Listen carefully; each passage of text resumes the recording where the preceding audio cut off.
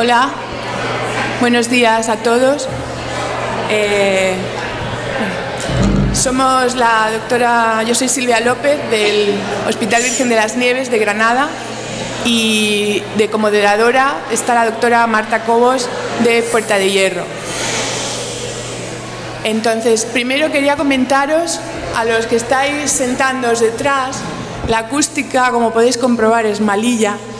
Eh, vamos a veniros, es un taller clínico, queremos que sea práctico e interactivo. Entonces, os pediría al grupo de atrás que os vengáis aquí delante porque no lo vamos a utilizar. Hay como ocho, nueve huecos aquí delante porque atrás ni se escucha ni vamos a poder hablar con vosotros. Es un taller clínico, se llama Estrategias para la congestión refractaria y alteraciones hidroelectrolíticas en las unidades de insuficiencia cardíaca y vamos a hacer preguntas interactivas que vais a tener 10 segundos para responder con la aplicación del curso. Entonces tenéis que bajaros eh, la aplicación en el móvil para poder responder. Va a haber preguntas interactivas de nuestros ponentes y va a haber eh, casos clínicos. Así que eh, vamos a, a comenzar presentando al primer ponente, que es el doctor Eduardo Zatarín. Nicolás del Hospital Gregorio Marañón de Madrid, que nos va a hablar del tratamiento farmacológico diurético y combinado y de las distintas opciones, suero hipertónico, inotropos e inodilatadores. Cuando quieras, Eduardo. Muy bien. Hola, buenos días a todos. Yo, en principio, quiero agradecer a la organización eh, la oportunidad de bueno, pues presentar eh, la ponencia en lo que considero mi casa. Yo me formé aquí en Valladolid y la verdad es que para mí pues, es un placer poder eh, compartir esta sesión con vosotros. La verdad es que la presentación, al ser un poco heterogénea, no es muy interactiva. Aquí podéis ver un poco el índice, pero podéis interrumpirme o vamos, a mí no me importa si alguien levanta la mano y quiere hacer alguna pregunta por interés de la sesión estaría encantado en que me interrumpáis y podamos comentar lo que, lo que os apetezca. Eh, sin eh, entretenerme mucho, eh, el problema de lo que os voy a intentar hablar es de la congestión refractaria. ¿no? Cuando habla uno de la refractariedad o de la resistencia a los diuréticos y revisa la literatura, pues hay un problema en, en la propia definición. En diferentes estudios, está definida de diferentes formas, en algunas de forma compleja, como por ejemplo en la excreción de sodio, que es difícil realmente de evaluar desde el punto de vista clínico. Y bueno, pues la respuesta diurético. Cuatro, cuatro aquí también. La respuesta. Más cerca. Perdón. La respuesta al diurético, ahí sí se me oye. Vale, perdón. La respuesta al diurético que se puede definir también como la pérdida de peso por cada 40 miligramos de furosemida o equivalente en otros diuréticos. Hay, la verdad es que escaso consenso en esto y es difícil poder homogeneizar eh, los estudios en cuanto a la definición y también a los diferentes endpoints que se han ido evaluando en, los estudios de diuréticos. Además, me parece muy importante resaltar que la situación clínica no es la misma. No es la misma la refractariedad al diurético oral del paciente ambulatorio con mejor o peor clase funcional y que tiene problemas de congestión, que el paciente con una descompensación aguda de insuficiencia cardíaca, que el paciente que además tiene problemas de gasto anterógrado, o con disfunción ventricular o con FEBI preservada. Y todo esto pues hace bueno, pues que este tema tenga unas implicaciones a la hora de ponerlo en la práctica pues difíciles de, abordar. En cuanto a la fisiopatología y, y, las causas de la refractariedad a los diuréticos, hay que repasar un poquito la fisiología.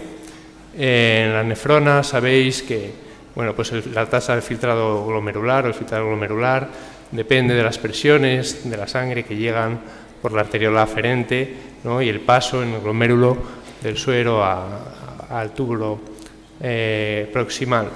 En este aspecto, pues hay, eh, tenemos el problema del bajo gasto cardíaco, que lo que suele ocurrir es que hay una, un déficit de la presión, una caída de la presión en la arteriola aferente, que al final pues, reduce esa filtración glomerular. Esto genera la activación del sistema renina-angiotensina-aldosterona eh, y todo con la intención, eh, a través del aumento de la angiotensina y de la propia aldosterona, de retener más sodio, más líquido y evitar esa eh, hipoperfusión, hipoperfusión realmente encontrada en, el riñón. ¿no? En este aspecto, pues los diferentes diuréticos y las diferentes estrategias van a actuar en diferentes puntos de la nefrona. Así, en un paciente con insuficiencia cardíaca, cuando tenemos la resistencia a diuréticos, puede ser por múltiples causas. La primera y más frecuente, desgraciadamente, es la, eh, que no toman la medicación, las transgresiones medicamentosas.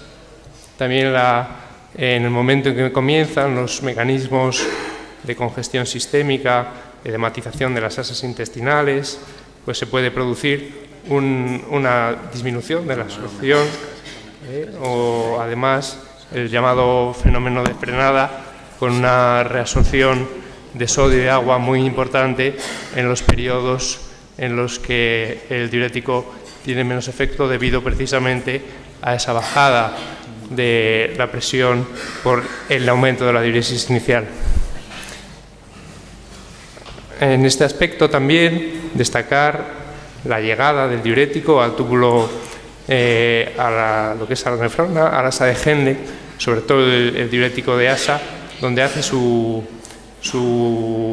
efecto en el cotransportador de sodio, cloro, potasio y que bueno, pues ese cotransportador de ácidos orgánicos puede verse influido por diferentes situaciones.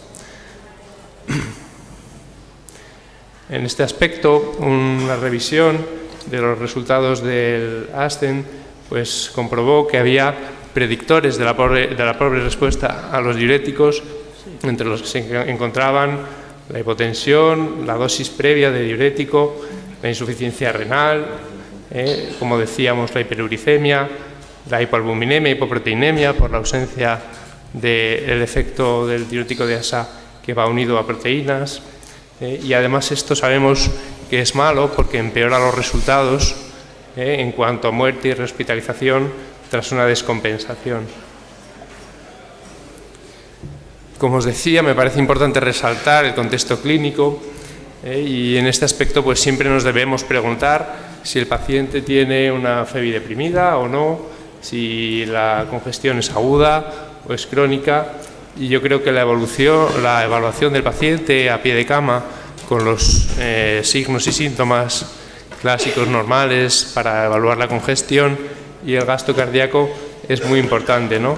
siendo pues los pacientes que nos van a dar problemas en este aspecto, los de los cuadrantes con caliente que están bien perfundidos pero congestivos o los peores y más difíciles cuando ya están mal perfundidos y también están congestivos. Entonces, a la hora de plantear las estrategias con las que vamos a poder eh, actuar para romper ese círculo vicioso generado de la resistencia de los diuréticos, tenemos que, lo primero, asegurar, por supuesto, el cumplimiento. ¿no? Yo en este aspecto también siempre recomiendo a los pacientes que tomen la furosemida, que es el diurético más común, que aquí todos utilizamos en ayunas, ¿eh? por el, el, tema de la absorción intestinal. El ajuste de la medicación, los IECAS, los betabloqueantes, en situaciones ya de insuficiencia cardíaca descompensada, la hipotensión que pueden generar o el efecto inotrópico negativo puede empeorar la situación del riñón ¿eh? y en ese aspecto incluso llegar a comprometer la función, que sería pues, el otro punto de la resistencia a diuréticos importante, cuando el riñón ya tan siquiera pues, está funcionando.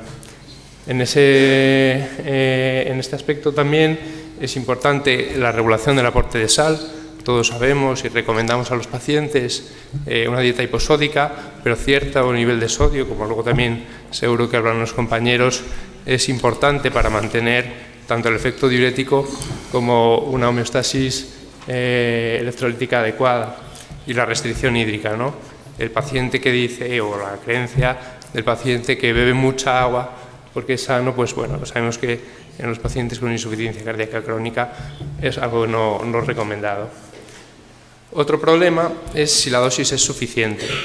En las situaciones de insuficiencia cardíaca o cuando el paciente tiene insuficiencia renal, lo que es la dosis diurética tiene un efecto distinto que en situaciones normales.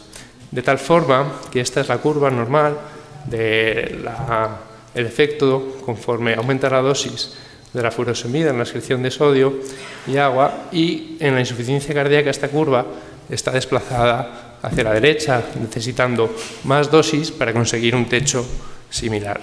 En la insuficiencia renal lo que ocurre es que este techo está disminuido y también para conseguir efecto diurético vamos a necesitar una dosis mayor. En este aspecto la ficha técnica de la furosemida nos recomienda como dosis máxima 240 miligramos al día, pero hay estudios en los que se han evaluado dosis mucho mayores.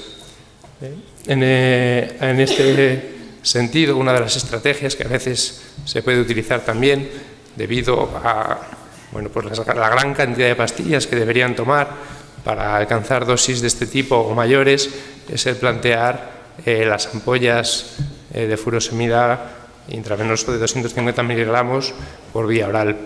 El sabor es muy malo, de eso se suelen quejar los pacientes, pero en alguna ocasión de refractariedad puede ser una de las estrategias a tomar. La torasemida también es un fármaco, eh, es un diurético de, ASA, como conocéis, que luego revisaremos un poquito sus peculiaridades, pero tiene una presentación en general en los comprimidos pues máxima de 10 miligramos, lo que hace que necesites también una gran cantidad de pastillas y puede limitar esta estrategia. Otra de las cosas que nos puede mm, echar para atrás a la hora de aumentar la dosis diurética es el ver que la creatinina empeora o que hay un empeoramiento de la función renal estimada por los, eh, por los distintos métodos analíticos. También recientemente, bueno, no tan recientemente, pero hay evidencia de que cuando va asociada una buena respuesta diurética al empeoramiento de la creatinina, estos pacientes no tienen un pronóstico malo como se pensaba y que ese empeoramiento de la función renal en muchos de los casos responde a hemoconcentración y el pronóstico de estos pacientes es incluso más favorable, teniendo muy en cuenta, por tanto, pues el identificar el fallo renal o el pseudofallo renal o el pseudoempeoramiento del fallo renal. Si la respuesta diurética es buena, hay que seguir con el tratamiento diurético.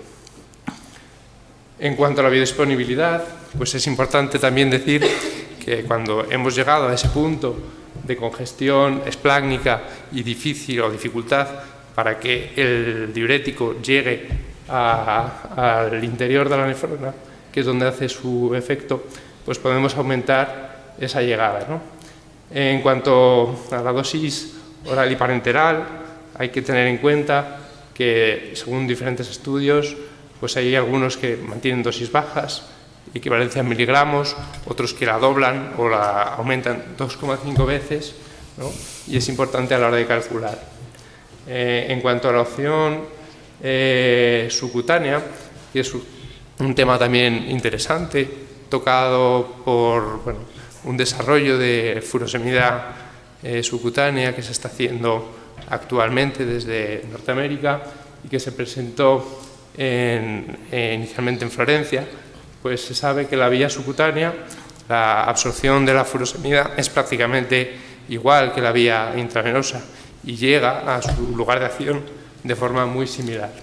En este aspecto, la experiencia clínica que tengo y que, bueno, pues, me hace ilusión también porque empecé aquí, bueno, con bombas elastoméricas, es de que puede ser una, eh, un tratamiento útil para eh, la congestión difícil o refractaria, aislada, ¿no? sin otros datos de bajo gasto o criterios de ingreso en pacientes ambulatorios que se pueden beneficiar de un aumento de la biodisponibilidad de la dosis de furosemida con buena respuesta y un perfil bueno de seguridad.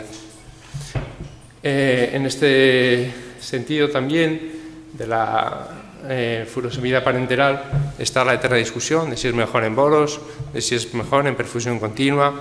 El 12, ya como todos conocéis muy bien, eh, intentó responder a esto con una, vamos, eh, muy poquito beneficio o diferencias entre los, entre los grupos que había definidos entre los bolos y la perfusión y quizá la enseñanza que podemos sacar de ahí es que la dosis alta es la que realmente nos permite descongestionar más a los pacientes. En cuanto a la biodisponibilidad, como os decía antes, la torasemida también puede ser una alternativa.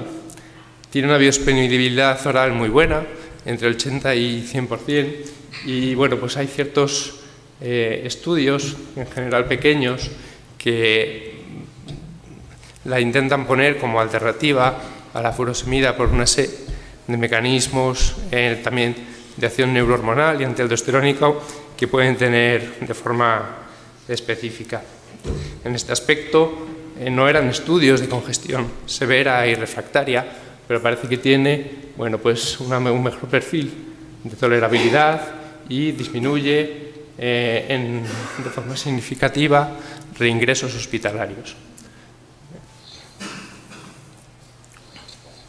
En cuanto al resto de combinación de diuréticos, hay que plantear siempre pues, el hacer un bloqueo secuencial de la nefrona. En este punto están también las tiacidas, en los que hay pues, muy poca evidencia. Hay muchos fármacos, estudios heterogéneos, tampoco en congestión refractaria como tal, y tenemos el problema de su eh, bajo techo o potencia en los pacientes que ya tienen insuficiencia renal previa. Eh, además, sabemos que como efectos secundarios tienen bastantes eh, eh, pérdidas electrolíticas y pueden alterar la homeostasis en este sentido. Y la parte buena es que en combinación con los diuréticos de ASA, que como veíamos en la fisiopatología, otro de los problemas es que pueden hipertrofiar la parte de los segmentos distales de la nefrona, pues producen el bloqueo justo en este, en este punto del túbulo distal, de tal forma que potencian el efecto de, la furosemida. En cuanto a los antagonistas mineralcorticoides, es más que probada y todos conocéis su utilización en la insuficiencia cardíaca con intención pronóstica, en la insuficiencia cardíaca con disfunción sistólica, cosa que no han demostrado en la insuficiencia cardíaca con FEBI preservada. Sí que es verdad que cuando queremos una dosis natriurética que haga bajar eh, los, vamos, que haga aumentar la excreción de sodio, necesitamos aumentar la dosis. Además, tienen un efecto directo sobre la aldosterona, eh, revirtiendo ese efecto de hiperaldosteronismo en insuficiencia cardíaca, y la evidencia que tenemos sobre todo es en pacientes cirróticos. Algún estudio más pequeño sí que ha demostrado que baja los endpoints clínicos, como por ejemplo el edema, los crepitantes, la presión venosa, eh, eh, respecto a la furosemida en monoterapia. Y también, de cara a pacientes crónicos con cierta refractariedad al diurético oral, podemos intentar utilizar la estrategia RALES, que en este estudio sí que se vio que el aumento de la dosis podía mejorar la natriuresis. Muy por encima, la cetazolamida bloquea la anhidrasa carbónica en el túbulo eh, proximal y aumenta la excreción de sodio. Hay que tener cuidado porque es un fármaco nefrotóxico y en situaciones de insuficiencia renal puede además aumentar mucho su efecto. Solemos controlarlo con la gasometría. Y muy por encima el tolvaptan, sin haber llegado a presentar la evidencia que nos gustaría en los estudios grandes, pues sí que puede tener cierto papel, pero no voy a hablar de ello mucho más porque los otros compañeros van a tocar el tema más adelante.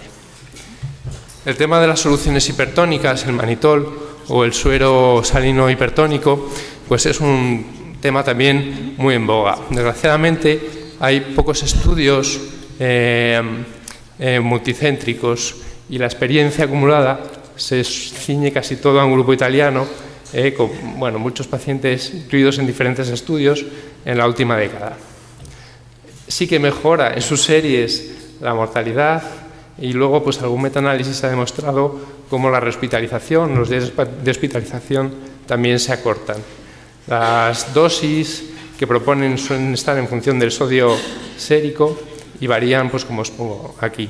Además lo combinaban con una dieta hiposódica moderada, que como os decía antes, pues hay que asegurarlo. En cuanto al tratamiento inotrópico, decir que la dopamina a dosis diuréticas tampoco ha demostrado de forma suficiente una evidencia clara. ¿eh? El ROS quizá es el estudio más importante y ni el niseritide ni la dopamina a dosis bajas demostraron mejorar. Aquí los subgrupos de insuficiencia, o sea, con disfunción ventricular muy severa, parece que mejoraban un poquito. Y muy rápido, el levosimendan en congestión aguda refractaria tampoco ha sido estudiado de forma específica. Sí que se sabe que en pacientes con disfunción muy severa, ¿eh? aunque el primer estudio que tenéis aquí, el Levorep, no demostró mejoría, estudios posteriores como Lionheart o Laika sí que le dan un aspecto y en este, en este sentido el paciente con congestión crónica podría beneficiarse en cuanto a reingresos y eh, hospitalización de dosis repetidas de, En cuanto a las complicaciones, pues no son pocas. Los pacientes con diuréticos se mueren más y hay muchas razones, aparte de otros eh, efectos secundarios que todos conocemos y que son bastante molestos en la práctica habitual. Y como conclusión, y ya para terminar, pues comentaros que, o intentar incidir que parece que la evidencia va por intentar una descongestión eh, lo máximo posible, a pesar de que pueda empeorar el riñón, siempre que la diuresis sea adecuada. Y eso nos va a permitir mejorar, sobre todo a corto plazo, reingresos que hay muchas estrategias, que no hay dos pacientes iguales y que no debemos perder el sentido clínico de eh, la individualización del tratamiento según el estado de perfusión, la cardiopatía, el grado de congestión. Y hay un gran campo abierto de investigación en este sentido, desde la propia definición de la resistencia a diuréticos hasta pues, nuevas terapias que están apareciendo. Como frase final, la verdad es que esta pregunta eh, me viene siempre a la cabeza. Si nos ceñimos a la evidencia clínica, probablemente no seríamos capaces de tratar a los pacientes congestivos que todos los que están aquí pues, habéis tenido en muchas ocasiones. Y bueno, pues muchas gracias por la atención y perdonad por el tema del audio.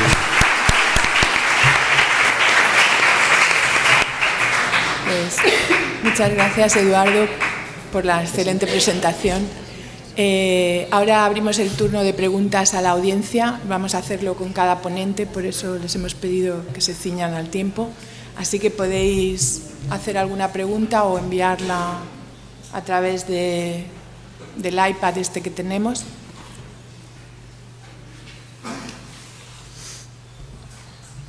aquí hay una pregunta. ¿No hay micrófono? ¿Micrófono?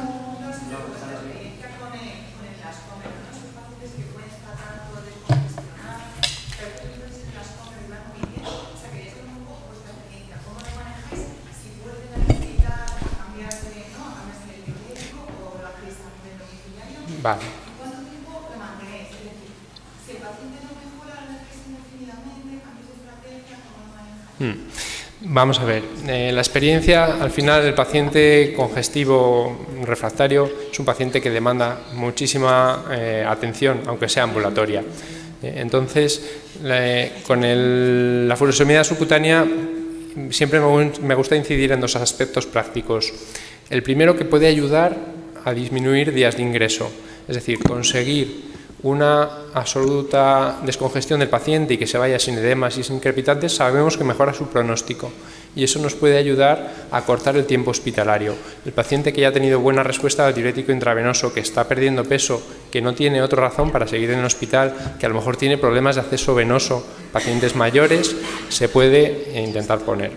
El otro contexto es el paciente ambulatorio que te llega con una descompensación y sobrecarga hídrica aislada, no otro criterio de ingreso.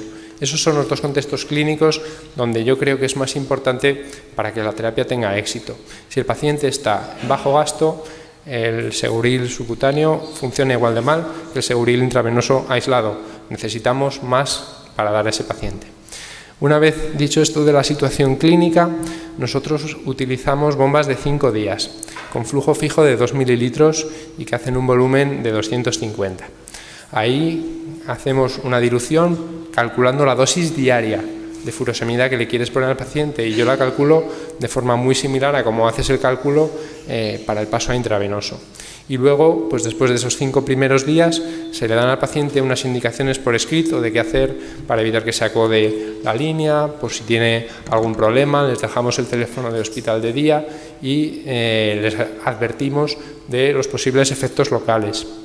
Los efectos locales de la furosemida normal eh, con el miedo que hay a la irritación y todo lo que están montando con la nueva reformulación, a pH neutro, etcétera, yo no lo he visto. O sea, la furosemida al paso al ritmo muy lento que va no genera irritación local. He tenido problemas en pacientes muy congestivos y con síndrome, porque a veces las propias venitas de la piel puede hacer que sangre y ocasionalmente, eh, os recuerdo dos casos de infección local. Y ahí, bueno, pues es importante también pues la higiene y que vaya con un apósito bien tapado. Después de cinco días, si la respuesta es buena y el paciente sigue necesitando descongestión, volvemos a poner otro ciclo y los que hagan falta, siempre con la intención de pasar de nuevo a la vía oral. Cuando el paciente es refractario a esto también, hay que buscar otras alternativas. Muy bien. Otra pregunta por aquí.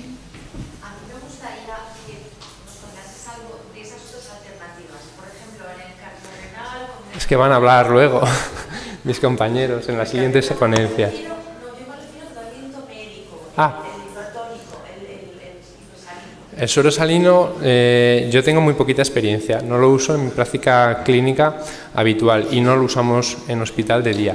En este aspecto sí que he estado buscando referencias bibliográficas sobre la utilización de eh, perfusiones de suero salino hipertónico de forma ambulatoria.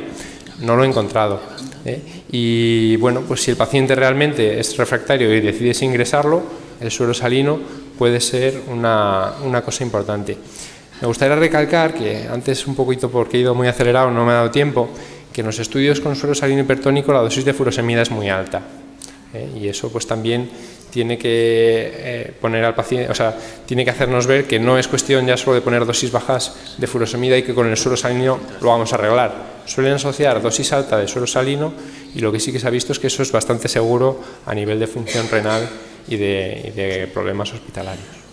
Mira, si quieres te puedo contestar un poquito porque nuestro grupo sí que desde hace ya dos o tres años utilizamos esta estrategia para congestión refractaria y la verdad es que funciona y funciona muy bien. Acabamos de mandar una cosa al Nacional, que si nos lo cogen os lo contaré mejor, y lo utilizamos tanto en pacientes hospitalizados como en el hospital de día.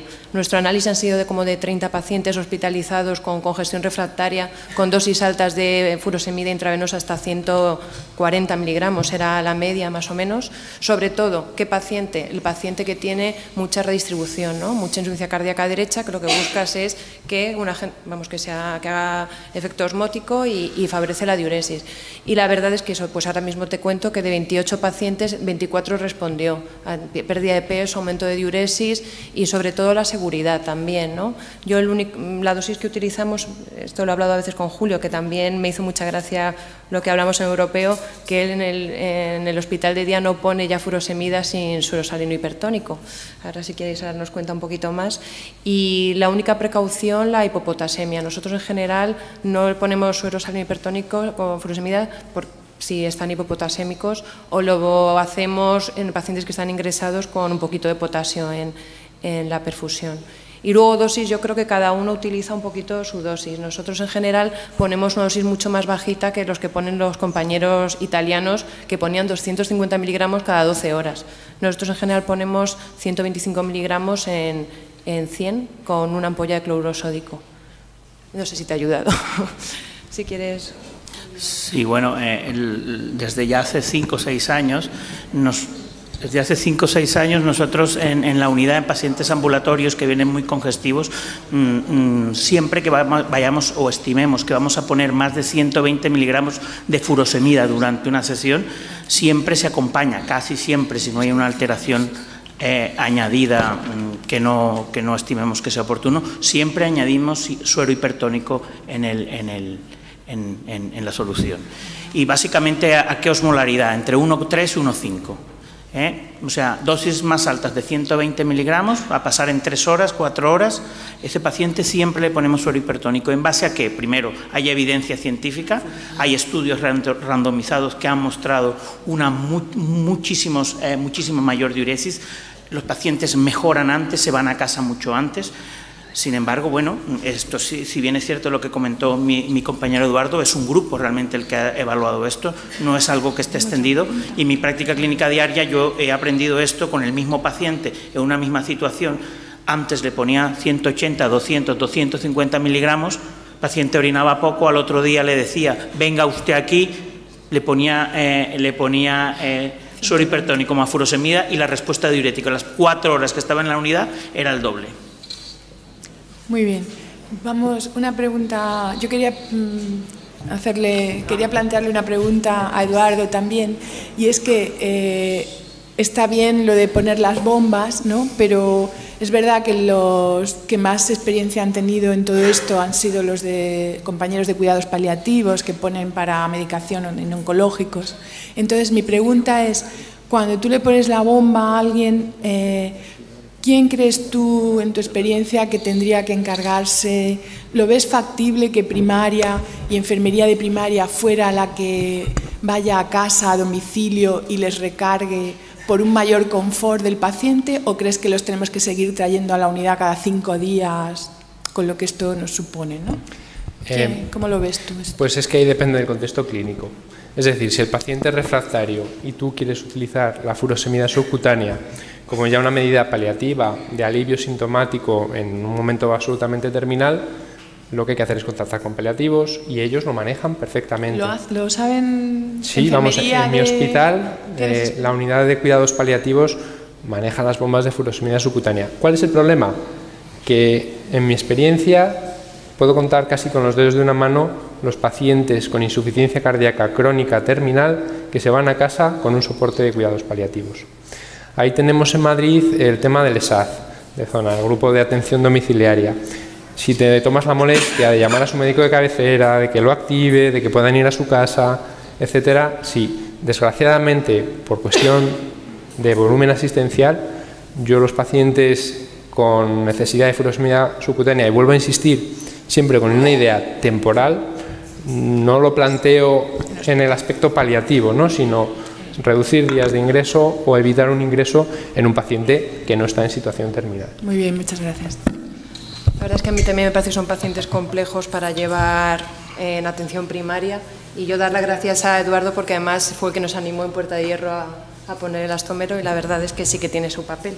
Entonces, bueno, vamos a presentar a Julio Núñez del Hospital eh, Clínico de Valencia, que aunque hay que perdonarle que sea un poco hemodinamista, pero la verdad es que está dedicado también a la insuficiencia cardíaca y nos ha enseñado mucho de la diálisis peritoneal y estamos deseando escuchar su experiencia. Cuando quieras. Eh, muchas gracias Marta por la presentación, muchas gracias a, todos por vuestra asistencia y desde luego gracias a la organización. Anteriormente ya mi compañero nos ha hablado de las alternativas farmacológicas que tenemos para el tratamiento de la congestión.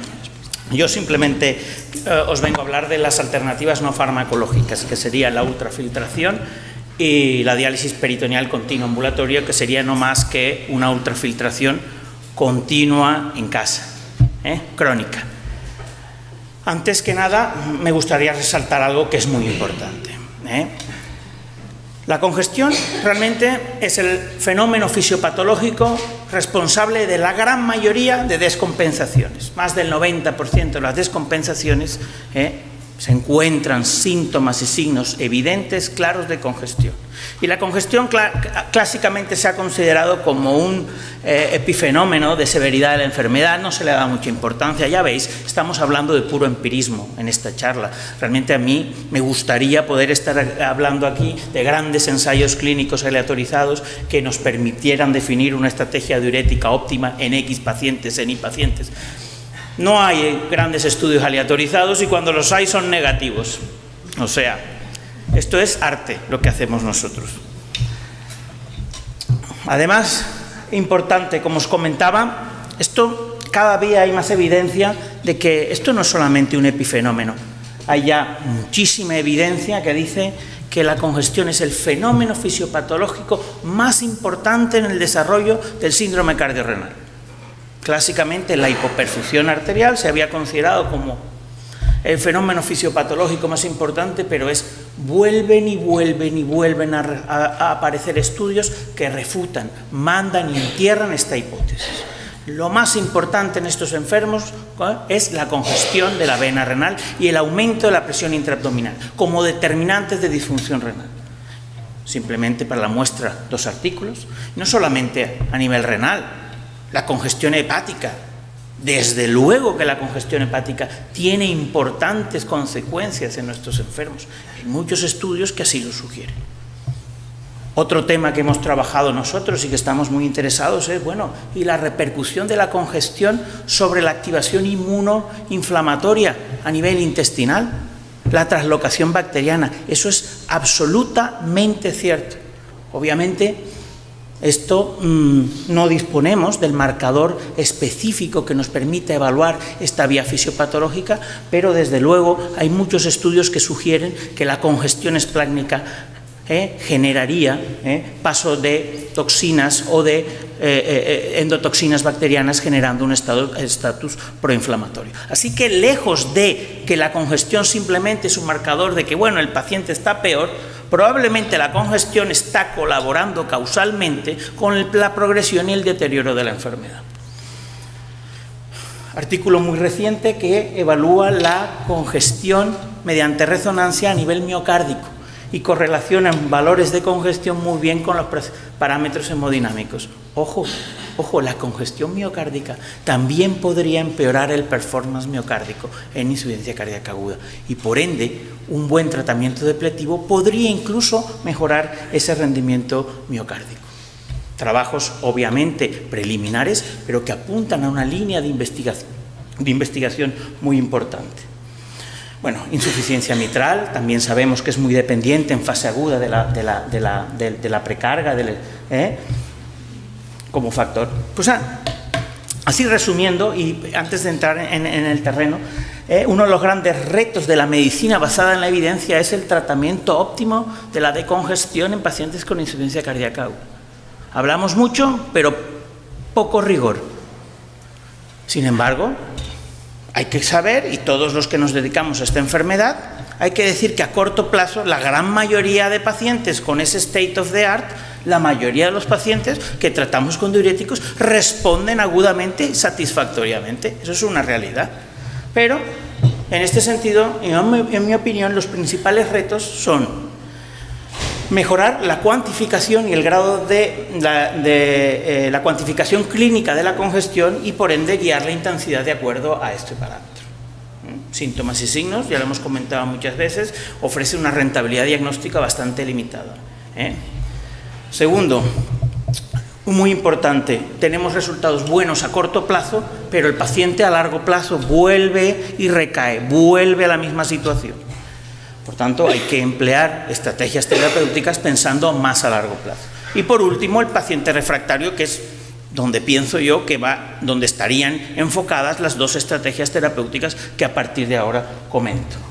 La primera es la ultrafiltración extracorpórea. Bueno, estos son máquinas que han mejorado mucho tecnológicamente. Eh, eh, desde un punto de vista teórico, te ofrecen un ultrafiltrado que tú puedes manejar las últimas máquinas no requieren una vía central, no requieren cuidados intensivos, producen un ultrafiltrado isotónico, a diferencia de los diuréticos que te producen eh, eh, orinas isotónicas. Desde el punto de vista teórico es algo muy atractivo, muy atractivo. Sin embargo, revisamos los tres grandes estudios, eh, grandes ensayos clínicos al respecto. El primero, el download. Este estudio tenía como endpoints primarios, endpoints subrogados de pérdida de peso, mejoría de la disnea mediante un score y cambios de la función renal. En todos estos, eh, eh, todos, en todos estos eh, puntuaciones o criterios de valoración intermedio, la ultrafiltración fue superior al tratamiento diurético endovenoso, pacientes con ICA. Sí, y a corto plazo, esto no era en primario, se sugirió un beneficio desde el punto de vista pronóstico, menos reingresos. Obviamente estudio pequeño, este estudio no estaba, no estaba preparado para detectar diferencias clínicas a este respecto. Siguiente estudio, más ambicioso, el CARES Trial, donde realmente sí hubo una, una ah, si os revisáis bien lo que es el, algoritmo, el algoritmo del tratamiento diurético a utilizar es, está muy bien, porque eh, eh, lejos de no sabemos si está bien o no, pero estaba muy y era muy meticuloso. No se dejó al libre albedrío de que cada uno hiciera lo que, lo que quería. Estaba, era muy meticuloso. Pues bueno, en este estudio, pues los resultados no corroboraron los, dos del estudio OnLoad. En este estudio, pues no hubo mayor pérdida de peso con ultrafiltración frente a diuréticos, pero sí hubo mayor deterioro de la función renal. Mal asunto. ¿eh? ¿Y por qué de estos resultados que pienso yo no son todo lo buenos que podrían parecer o diferentes al anterior. Mirar los criterios de inclusión. Pacientes ingresados con insuficiencia cardíaca que tuvieran un síndrome cardiorrenal, elevación de, eh, elevación de eh, disfunción renal en el momento del ingreso o durante la hospitalización y eh, sobrecarga hídrica persistente. Y mirar lo que le llamaban sobrecarga hídrica paciente que tuviera una presión en cuña pulmonar más de 22 si estaba cateterizado o la gran mayoría de pacientes que presentaran derrame pleural o edemas en una radiografía de tórax. Dime tú quién no tiene eso. ¿Eh? Aumento de la presión venosa central más de 10 o al menos edemas periféricos grado 2. Hombre, ¿vosotros creéis que estos son enfermos refractarios? Yo creo que la gran mayoría de pacientes estos a corto plazo van bien con tratamiento diurético intenso. Por ende, esos resultados negativos. Tercer estudio, que el que pretendía evaluar la eficacia de la ultrafiltración en cuanto a criterios de valoración clínico. Nada de endpoints subrogados. Cerca de 900 pacientes se pretendían incluir. Estudio eh, AVOID, trial, algo que no está muy claro, pero el estudio se suspende preliminarmente, incluyendo 25% de los pacientes, según la primera autora, que es la doctora María Rosa Constanzo, fue una decisión unilateral de la empresa patrocinadora que consideró que esto no era la línea ¿eh? a seguir dentro de línea importante dentro del laboratorio y suspendieron unilateralmente. Y los resultados, con el 25% de la muestra, obviamente, con todo el valor que esto tiene, nulo, los resultados apuntaban a que había, bueno, una tendencia estadística a un menor, eh, menor eh, riesgo de reingresos en los pacientes aleatorizados a ultrafiltración. Desde luego, este gran estudio, que era el que probablemente iba a poner en el sitio la ultrafiltración, nos quedamos con la misma incertidumbre. Y así las guías de práctica clínica no consideran esta estrategia eh, como una herramienta de primera línea en el tratamiento de la congestión. ¿Qué alternativas tenemos a la ultrafiltración extracorpórea en ese paciente que tenemos todos en la unidad, que está todas las semanas, que, lleva el astómero, que cada semana se le ponen grandes dosis de furosemida, que deja de venir 15 días y vuelve con 10 kilos más? ¿Qué estrategias terapéuticas tenemos a largo plazo? A largo plazo, la diálisis peritoneal, que es una ultrafiltración intracorpórea, crónica ambulatoria.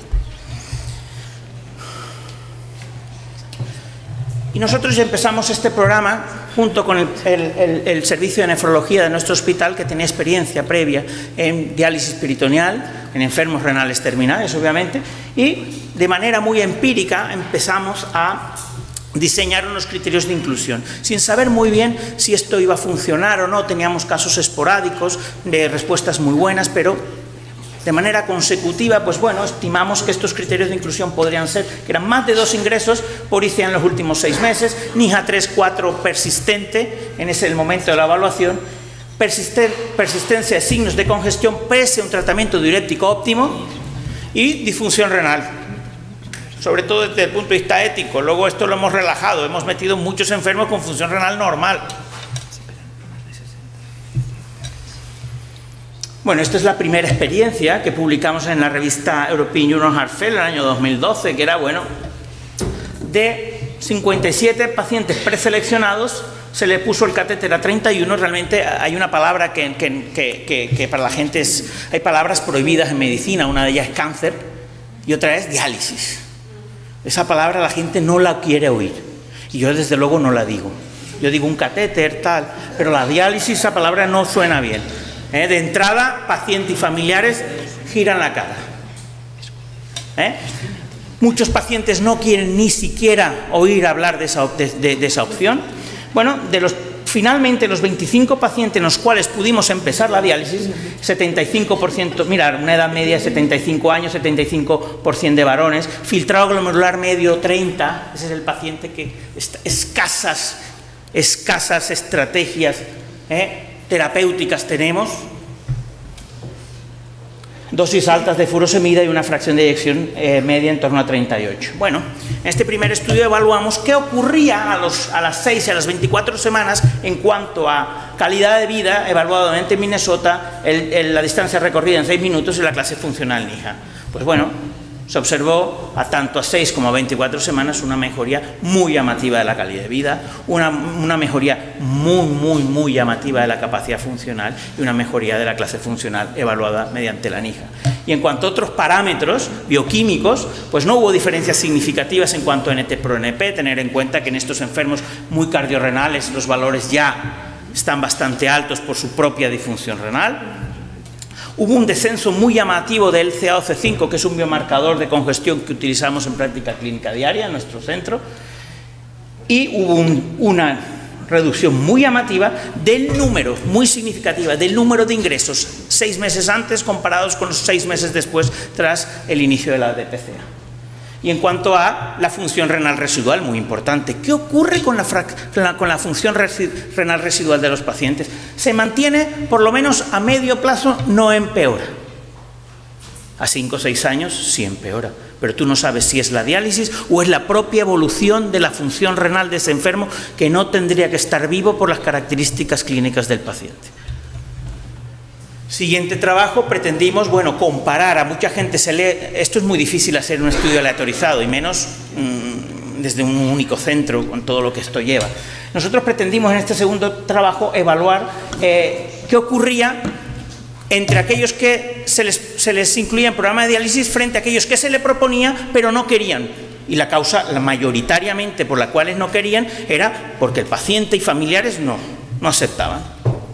Y otros pacientes por importantes eh, defectos de pared eh, abdominal, laparotomías muy extensas que contraindicaban la técnica. Bueno, en ese sentido, estas son las características muestras de los pacientes, pacientes muy comórbidos, mirar el, índice de Charlson, 4 o 5, la mayoría, 75 años de media, pacientes muy avanzados. ¿eh? Filtrado glomerular 28, 30. Bueno, y entonces, ¿qué pasaba en cuanto a la supervivencia, los ingresos acumulados en el tiempo frente de los enfermos? De las mismas características, pero unos sometidos a DPCA y otros sometidos a tratamiento convencional. Bueno, las, diferencias son, son de no creérselas. Dice uno, este tío ha hecho esa figura. Pues son así, realmente son, son muy dramáticas, ¿eh? una reducción muy llamativa y cuando analizamos medidas de eficacia clínica en NT, resulta que necesitamos para evitar, para salvar una vida, para salvar una vida al año, tendríamos que incluir 3-4 pacientes en DPCA. Maravilloso. Bueno, y esto no solamente en la experiencia del hospital clínico, donde tenemos a este momento más de 75 enfermos en DPCA, desde que empezamos el programa. Metemos habitualmente uno, uno al mes, dos al mes, hay meses que no, hay meses que metemos dos. Bueno, y esto no solamente se corrobora en nuestra serie, en otra serie también del Hospital de Asturias, que tienen bastante experiencia, también muestran resultados bastante llamativos, bastante novedosos, ¿eh? económicamente bueno. Bueno, en cuanto a endpoints clínicos, sobre todo reducción de hospitalizaciones, hay ya numerosas series que apuntan en este sentido. ¿Qué problemas da la DPCA? Bueno, peritonitis. Esto es una, eso es una realidad, este es el, efecto secundario más frecuente. Nosotros tenemos eh, aproximadamente una media de 0,53 episodios paciente año. Son cifras mayores que las reportadas en pacientes más jóvenes, es lógico. Estos son pacientes muy ancianos que hay que enseñarles. La ventaja de este efecto secundario, que aunque a veces puede ser potencialmente grave y mortal, obviamente, la mayoría de los casos son leves y se tratan ambulatoriamente. El paciente se le entrena a reconocer un líquido turbio, a notar un pequeño dolor abdominal y acude rápidamente al nefrólogo, quien administra antibióticos intraperitoneales. Y se solucionan la gran mayoría de casos. Y aquí tenemos casos, casos, yo, mm, eh, casos así para mostraros. Este es un paciente, mirar el tipo de pacientes. 75 años, hipertenso, injertos coronarios, estén en tronco en situación de shock cardiogénico, FEBI 22%, portadores de ICRT, insuficiencia cardíaca avanzada refractaria, tres ingresos por ICA. El último de ellos requirió intubación y soporte inotrópico. Último ingreso por ICA en Anasarca 2014. Este paciente filtrado glomerular medio en torno a 25, 30 estrategias terapéuticas de contrastada evidencia, yo no sé dónde están, en este enfermo. 85-60, mirar antes de la DPCA, post de DPCA. Ese paciente lleva más de dos años sin ingresar. Tenía el vídeo, pero lo he quitado. Otra situación, otra situación que tenemos una experiencia buena, que es, el primer, la primera serie que lo describe, bueno, en pacientes con pericarditis constrictiva, esto es perfecto. Mirad, tenemos tres series que la publicamos el, año, el año pasado en la, revista española. Pacientes con tres con pericarditis constrictiva, dos de ellos con una pericardiectomía previa fallida. O sea, el paciente vuelve tras la cirugía a presentar los mismos síntomas y signos de constricción. Dos de ellos y el último paciente no quiso pensar o oír hablar de la cirugía y se le, se le ofreció la DPCA. Pues mira, en todos estos pacientes el peso baja, mejora la capacidad funcional, mejora la calidad de vida, se mantiene la función renal, bajan los péptidos natriuréticos y sobre todo más baja la congestión, mirar el CA12-5, se normalizan. Todos estos tres pacientes están vivos, después de tres años de DPCA. Y ya para terminar, simplemente deciros que más allá de la ultrafiltración hay que recordar que el peritoneo tiene varios poros, poros pequeños que filtran agua libre, poros más, otros poros pequeños que eh, filtran agua, sodio y solutos de bajo peso molecular. Ahí ya podéis pensar que hay más cositas que se filtran. Y poros grandes que se agua y solutos, proteínas grandes. Ojo, se especula, hay un, hay un trabajo que se especula que hay ultrafiltración de citoquinas proinflamatorias. Y en Mirar este caso, ya termino. Este es un paciente de 56 años con una amiloidosis sistémica, que ya no lo mandan en estado de congestión, sin tolerar absolutamente nada ya. El paciente llevaba un tratamiento con aldactone 12,5, seguril, clortalidona y barbadina. No toleraba beta bloqueantes y ecasarados, no toleraba nada. Hipotensión, congestión muy evidente. Este paciente sin lo incluimos en programa de PCA rápidamente mirar la evolución de, la yugular, claramente mejora, el paciente eh, eh, baja de peso, mejoran los parámetros de bioimpedancia a lo largo del tiempo, mejora la calidad de vida, mejora la distancia recorrida en seis minutos y estamos hablando de evolución de años. Y cuando el enfermo lleva tres años vivo, contra todos los pronósticos, sin recibir quimioterapia, nos preguntamos, ¿estamos solamente controlando la congestión de este paciente? Pues hicimos, eh, hicimos eh, eh, medimos en líquido peritoneal la presencia de cadenas ligeras de la amiloidosis. Se triplicaban los valores que en el plasma. Estábamos drenando en ese paciente el componente, el componente del amiloide. Paciente a los tres años y medio fallece de una colitis pseudomembranosa, propiedad de la enfermedad, pero bueno, es un dato absolutamente para tener en cuenta. Ya para terminar, simplemente deciros que esto funciona siempre que haya un equipo, unos cardiólogos muy interesados y unos nefrólogos también muy interesados. Que haya un equipo, obviamente, esto tan difícil que se dice muy fácil, el, el, Heart Team, pues el Nefro Heart Team, pues aquí tiene que funcionar. ¿eh? Eh, yo no conozco casi ninguno que funcione, pero esto, para que en vuestro centro esto, para que en vuestro centro funcione, esto tiene que, si no, ¿eh? Que quede bien claro el enfermo cuándo es de cardiología, cuándo es de interna o cuándo pasa al nefrólogo. El nefrólogo, ellos tienen mucho miedo de que ya lo metes en diálisis y tú te olvidas del paciente. Ah, ese es tuyo, ya está en diálisis. Pues ese paciente tiene TVs, hay que hacerle tal, ese paciente hay que verlo, ¿eh? Vale, es muy importante pensar que esto es un tratamiento que no hay que emplearlo, que no hay que contemplarlo como una estrategia ¿eh? mm, ante un enfermo que está en las últimas. Resulta que el enfermo ingresa tres veces, al cuarto ingreso no responde al tratamiento óptimo y tú en la planta dices, oye, lo de la DPCA. Hombre, la de la DPCA hay que ponerle un catéter que cicatrice, que aprenda a dializarse y desde que tú pones al paciente un catéter que no haya ningún problema, más o menos en dos meses el paciente está ultrafiltrándose, antes no. Por tanto, hay que pensar en esta técnica cuando sabes que es un paciente que ha ido mal, ahora está en una mejor situación, en ese es el momento en el, en el que tienes que pensar en esta técnica. Esperemos que recaiga y en la próxima lo vemos. No, no vais a incluir ni uno.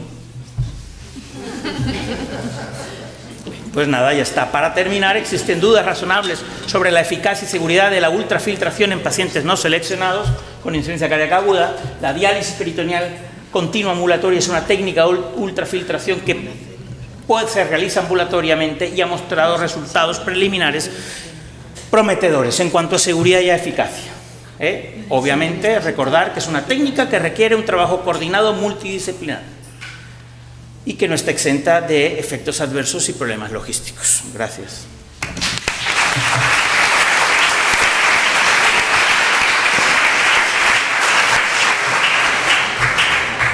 Pues muchas gracias, Julio. Yo creo que se lo compramos, ¿no? Bueno, ¿alguna pregunta de la audiencia? Aunque lo ha explicado todo fenomenal.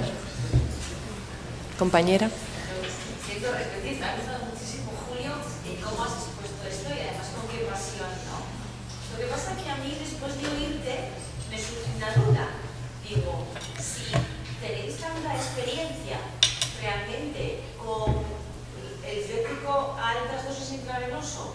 con el hipertónico y con la peritoneal, o sea, ¿dónde acabáis lo primero y pasáis a lo segundo? O sea, ¿cómo? Buena pregunta.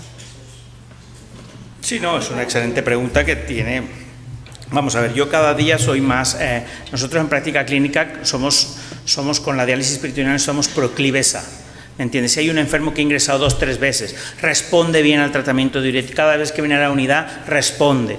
Pero sabemos que a los 15, 30 días va a volver, ese es el paciente que yo ya le ofrezco la opción de la diálisis peritoneal. Hay muchos enfermos que desestiman, por, lo que, por las razones que antes comentábamos, pero seguimos con una estrategia diurética intensa. Lo que sí te tengo que decir una cosa es que en la gran mayoría de pacientes, una vez empiezan a ultrafiltrarse, se acabaron esas visitas, se acabaron esas visitas, el paciente ya, dices, fulano de tal que se lleva seis meses sin venir, ¿habrá muerto? No, no, está ahí. Lo que pasa es que ya no te viene a la consulta, ya no viene a la consulta.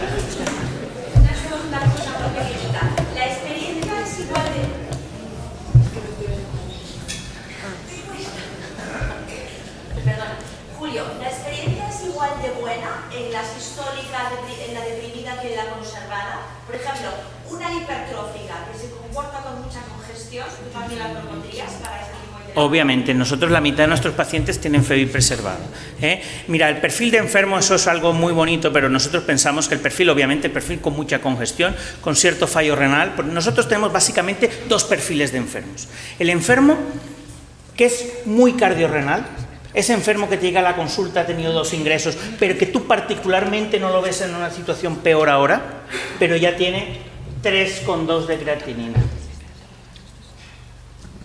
15, 20 filtrado glomerular. Ese paciente, dime tú qué estrategias terapéuticas tienes para él. Subirle un seguril más, quitarle un seguril, higrotona, ¿qué? Al lactone, no. Y ECA, entre... nada. Ese es el perfil de enfermo que va a ir muy mal, no tenemos nada para él. Ese perfil de enfermo con función renal muy deteriorada, que no tendría indicación de DPCA, de diálisis por la función renal, simplemente sería verlo como adelantar el tratamiento sustitutivo renal cuando hay disfunción renal importante y coexiste insuficiencia cardíaca. Ese es un perfil que podría ser el 20% de los que hemos metido. Y está el otro, el que es puramente cardíaco, que incluso tiene función renal normal y que es el paciente que está... Y esos perfiles, lo que, los, que hemos visto, los que mejor van son o las constrictivas, ¿eh? ese paciente va muy bien, o pacientes con ITs masivas, las insuficiencias tricuspídeas masivas, eso es Es que, es, es que ese paciente te está identificando un paciente que va a ir muy mal y que puede responder bastante bien a la, a diálisis peritoneal. Pero ya te digo, nosotros mm, mm, la mitad de nuestra experiencia es en Febi Preserva. Sí, por ahí. Vale. Mm, cuando, cuando quieras, poneros de pie para... vale.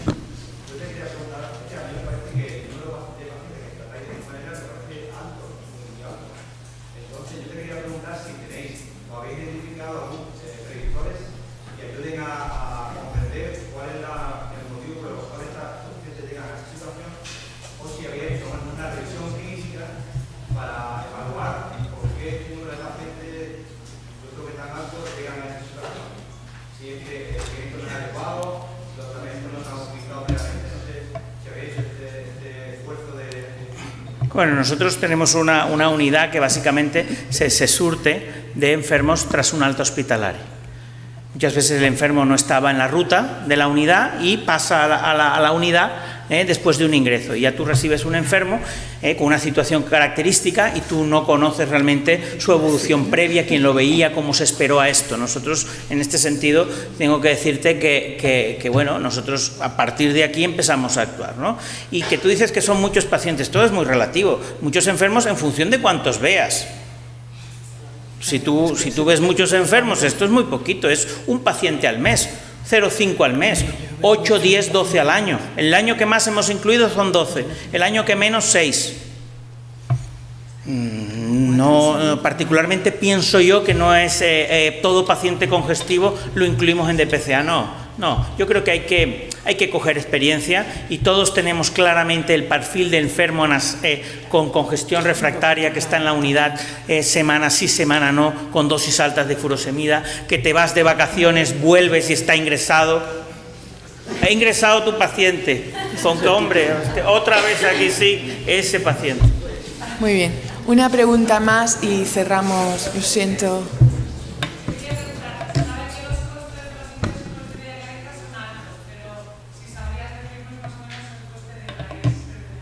El diálisis peritoneal esto depende de las comunidades porque siempre hay acuerdos, ¿no? Esto es se ve que se paga una tarifa plana, creo que en Valencia se paga tarifa plana. Entonces, eh, eh, esto varía, ¿no? Pero yo lo que tengo entendido que el coste al año está en eh, el coste de año de tratamiento está sobre los 10-12 mil euros. Si no, estoy, si no estoy mal. Está entre 10 12 mil euros por paciente que se incluye en programa al año, independientemente si el paciente necesita dos, tres, cuatro o un recambio. Ten en cuenta que hay una empresa que le lleva todos los recambios al paciente a su casa todo y le surte. Muy bien. Vamos a dar una preguntita más. Fuerte, por favor. Vamos a ver, hemos tenido que retirar catéteres por efectos secundarios. Hemos tenido que retirar catéteres, eh, dar de alta, que es no verlos. No, los pacientes, hay pacientes que han mejorado tanto que pasamos a verlos una vez al año. No les damos de alta porque el nefrólogo se enfadará con nosotros. No, pero que le retiren, creo que quieren Eh, decir eh, que le retiren eh. la diálisis peritoneal. Que le hemos tenido que Que retirar el catéter, sí, sí le hemos tenido que retirar catéter a varios pacientes. Peritonitis, peritonitis fúngicas, obliga a retirar de catéter, retirada de catéter, que aquello se cure y el clínico en función de la evolución vuelve a pensar en si, es, en si valdría la pena volver a intentarlo. En un paciente concreto, en ese paciente fúngico, esperamos seis meses, obviamente se volvió el paciente, volvió a su situación basal ¿eh? y se le volvió a poner el catéter, lleva seis meses con el nuevo catéter, bien, no ha vuelto a tener peritonitis. Hubo una retirada también eh, que me acuerdo mucho, que fue un caso eh, grave, eh, que se generó una fístula espontánea entre peritoneo y pleura. El paciente ingresa mm, en situación de shock, eh, tal, nadie sabía, y había una fístula, había una fístula espontánea entre peritoneo y pleura. Eso es absolutamente criterio de retirada del programa, absolutamente. Ese paciente se le retiró, mejoró de ese, de ese cuadro, afortunadamente, y el paciente estuvo con nosotros, pues volvió, durante tres, seis meses estuvo bastante bien, no mucha congestión, a los seis meses volvió y a los nueve meses falleció. Muy bien. Pues muchas gracias, Julio, ha sido muy interesante. Eh, vamos a continuar. Vamos a continuar con nuestra siguiente ponente, que es la doctora Carolina Ortiz del Hospital San Pedro de Alcántara de Cáceres, que nos va a hablar de las opciones actuales en la hiperpotasemia y de los nuevos fármacos que, que vamos a ir viendo en el futuro. Comentar que ha habido una pregunta de qué pasa con la votación electrónica, podéis prepararla esta vez. Cuando quieras, Carolina. Gracias. Bueno, muy buenos días a todos. Gracias por asistir a esta charla y ante todo agradecer a la organización la oportunidad que me han dado de participar en esta mesa tan interesante. A mí me toca hablar eh, de nuevas opciones, opciones futuras en el manejo de la hiperpotasemia. Ya sabéis que vamos a tener probablemente el año que viene nuevos fármacos que nos van a permitir tratar este contexto de la hiperpotasemia crónica. Y eh, antes de meterme con el caso clínico y antes de nada sí que me gustaría comenzar ya con la primera pregunta para intentar que todos tengamos en la cabeza o hacernos una idea cuál es la percepción real que tenemos cada uno de nosotros de la problemática de la hiperpotasemia en nuestros pacientes con insuficiencia cardíaca. De manera que voy a lanzar la primera pregunta y es esta, ¿cuál es la prevalencia de la hiperpotasemia en nuestros pacientes con insuficiencia cardíaca y fracción de eyección reducida tratados con inhibidores del sistema renina-angiotensina-aldosterona, A 5%, B del 5 al 10%, C del 10 al 20% o D más de un 20%. Podéis votar, tenemos unos segunditos. Ya. ¿Perdón? ¿Otra vez? Pero han, ¿han votado. Ah, Pero yo- tienes que activarlo cuando termine la pregunta. Bueno, no pasa nada. Esta pregunta no va a salir la respuesta pública porque ha habido un problema técnico, pero para la siguiente ya sí. Bueno, la respuesta que eh, aparece como correcta en 10 es un 20%, pero realmente la respuesta a esta pregunta no es sencilla, porque la prevalencia de la hiperpotasemia va a depender de muchos factores, entre ellos pues va a depender del, del perfil de población del que nosotros estemos hablando y también va a depender, por supuesto, de la definición de la hiperpotasemia que consideremos. Eh, ¿Dónde es aquí? Ay, perdón. ¿El puntero láser? Vale. Como os decía, va a depender de diferentes factores. Aquí en la diapositiva os traigo dos estudios clínicos clásicos muy conocidos por todos, entre, entre ellos el estudio SOL con el anapril, que lo conocéis. Aquí la definición de hiperpotasemia que se consideró fue un nivel de potasio superior a 5,5 y se observó que en el grupo de tratamiento la- las tasas de hiperpotasemia fueron un 7,8% frente a un 4,2% en el grupo de placebo.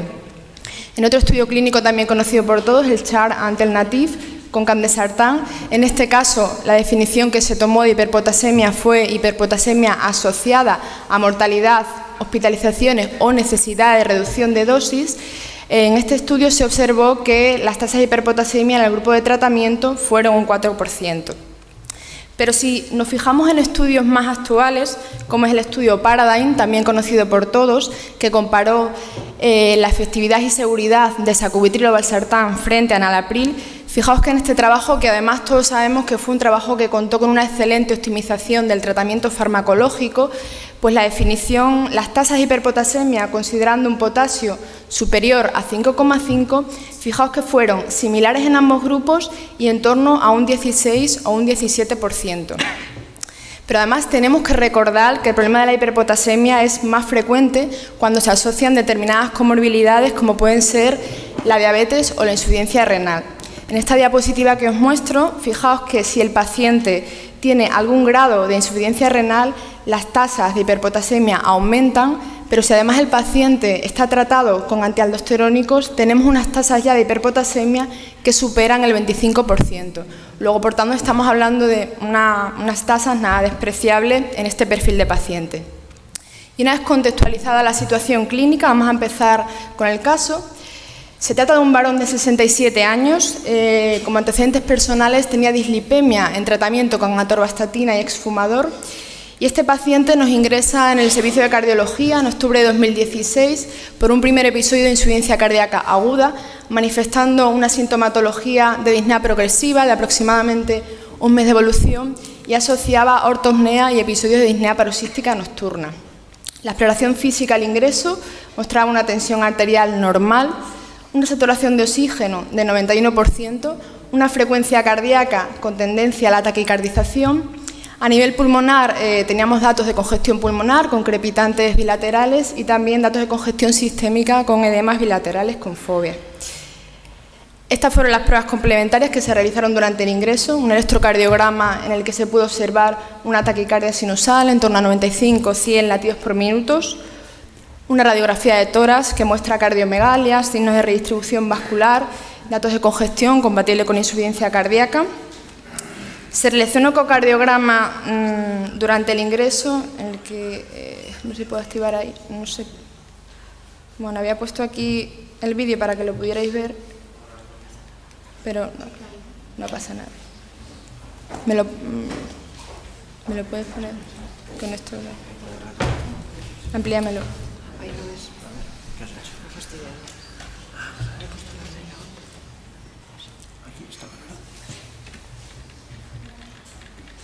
Bueno, no pasa nada. Ahí, ahí, déjalo ahí. Bueno, no pasa nada sin vídeo.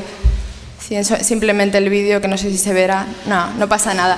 Un ventrículo izquierdo dilatado con una hipocontractilidad global y una fracción de de ventrículo izquierdo estimada de un 25%. Y eh, se realizaron pruebas complementarias para estudio de función ventricular, se realizó una coronariografía durante el ingreso donde no se observaron lesiones significativas y una resonancia en la que lo que pudimos es un realce tardío intramiocárdico y subepicárdico extenso con un ventrículo izquierdo dilatado todo ello probablemente sugestivo de una miocarditis pasada que había evolucionado a una miocardiopatía dilatada.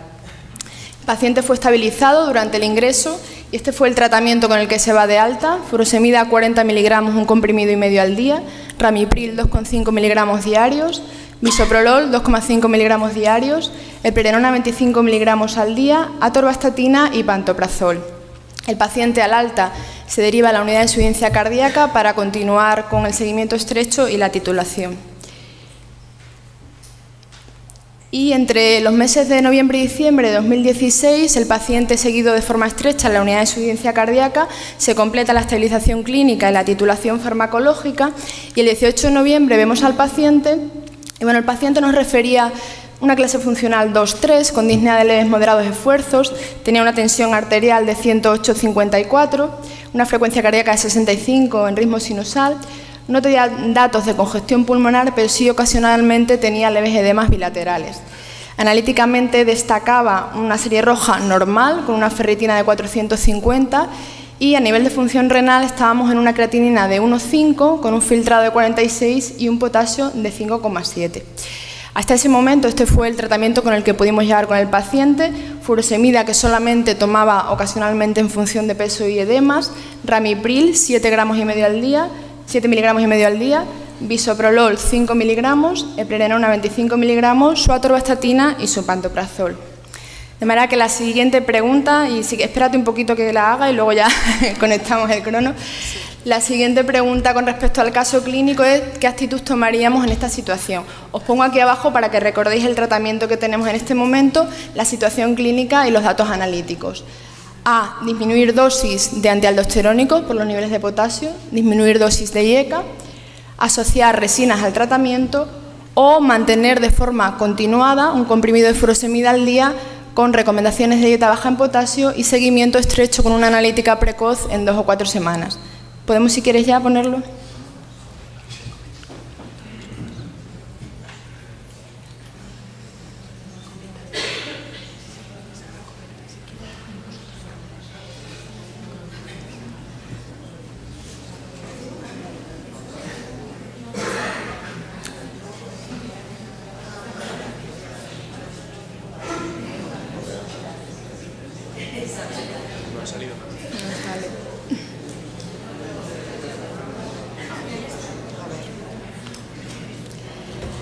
Bueno, pues parece que la opción más votada era la que además parecía más larga y parecía que iba a ser mantener un comprimido de furosemida al día con recomendaciones de dieta baja en potasio y seguimiento con analítica en dos o cuatro semanas, un 52% de la asistencia.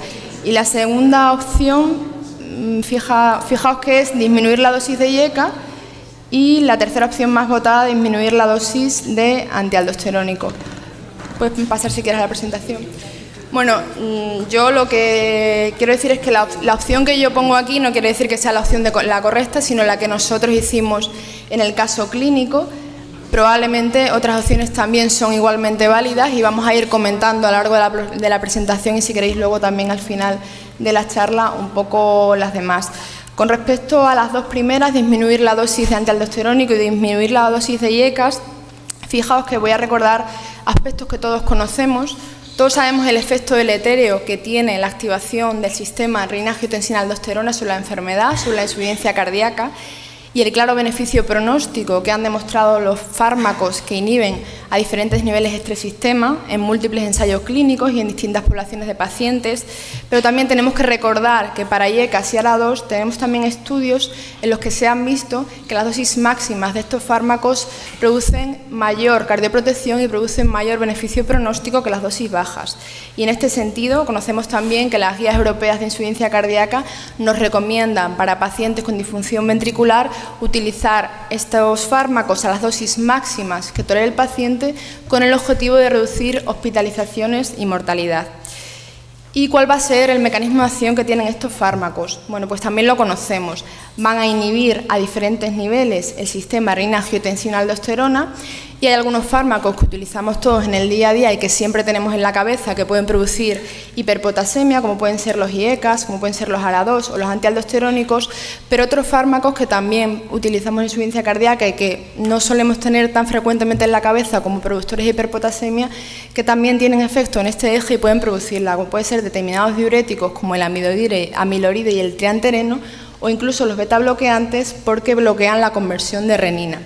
En definitiva, lo que vamos a tener con estos fármacos es que se va a disminuir la, excreción renal de potasio, aumentando el potasio sérico, y este aumento de potasio sérico además va a ser proporcional a las dosis que nosotros utilicemos de estos fármacos y así asociamos varios de estos fármacos, práctica que es muy habitual en nuestros pacientes con insuficiencia cardíaca. Pero ¿cuál va a ser la problemática real de la hiperpotasemia? Bueno, pues sabemos que las alteraciones en los niveles de potasio pueden producirnos trastornos de la conducción y arritmia. En insuficiencia cardíaca, insuficiencia renal, sabemos que el problema que nos pueden dar es que pueden limitarnos la titulación de fármacos con beneficio pronóstico, pero es que además la hiperpotasemia aumenta la mortalidad. Y fijaos que en este sentido, este estudio, eh, lo que se observó es que después de la publicación del estudio RAILS con espironolactona, aumentaba significativamente las tasas de, prescripción de este fármaco, pero además y en paralelo aumentó la mortalidad por hiperpotasemia en pacientes hospitalizados con insuficiencia cardíaca. Por tanto, cuidado porque el potasio puede aumentar la mortalidad.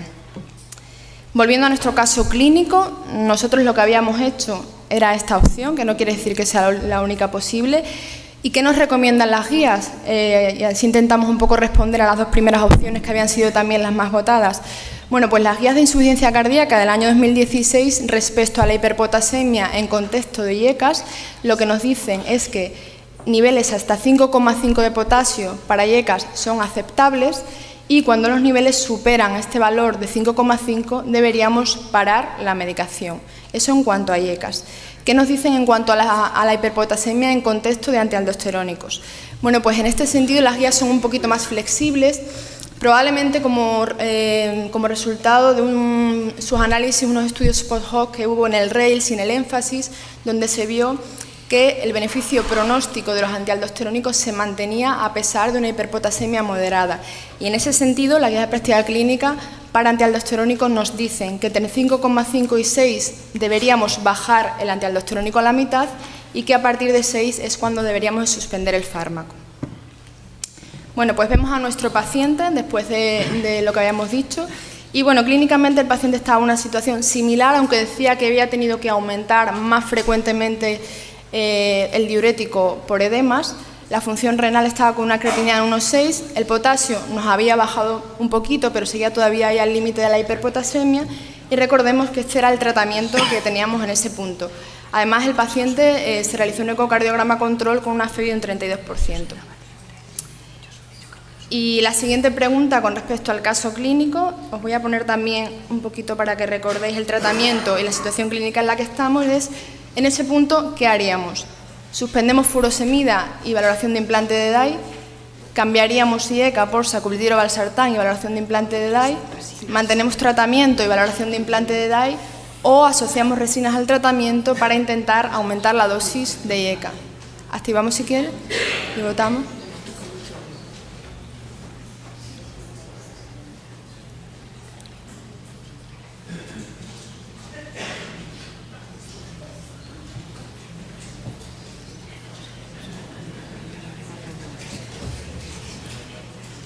Mientras votan, yo creo que te falta una opción que es aumentar la dosis de IECA sin resinas.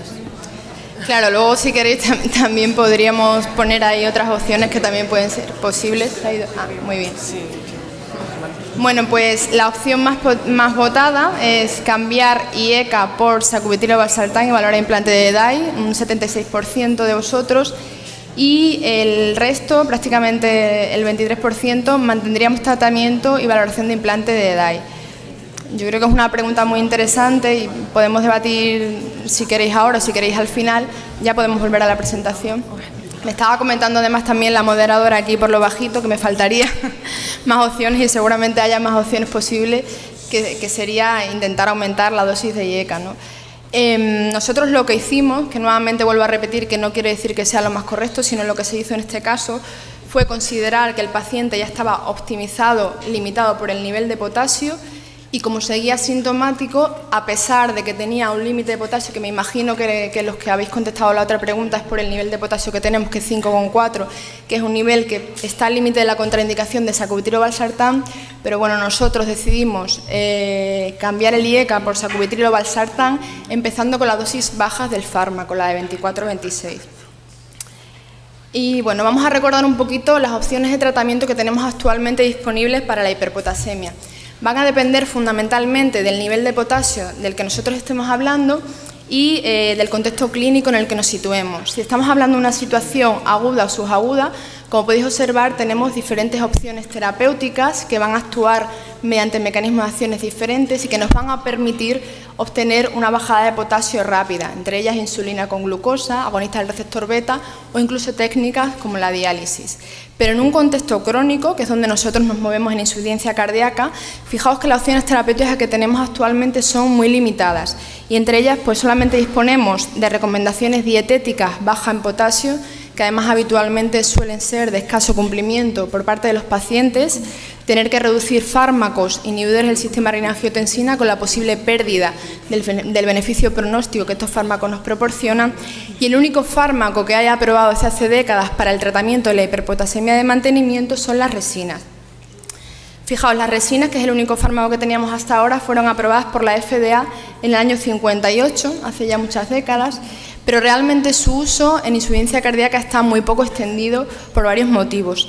Entre ellos porque son fármacos que se toleran muy mal eh, desde el punto de vista gastrointestinal, tienen muchos efectos adversos, algunos de ellos incluso graves, se han descrito casos de necrosis colónica con algún tipo de resinas, pero es que además por el mecanismo de acción que tienen las resinas que intercambian algunas de ellas por sodio pueden aumentar el edema.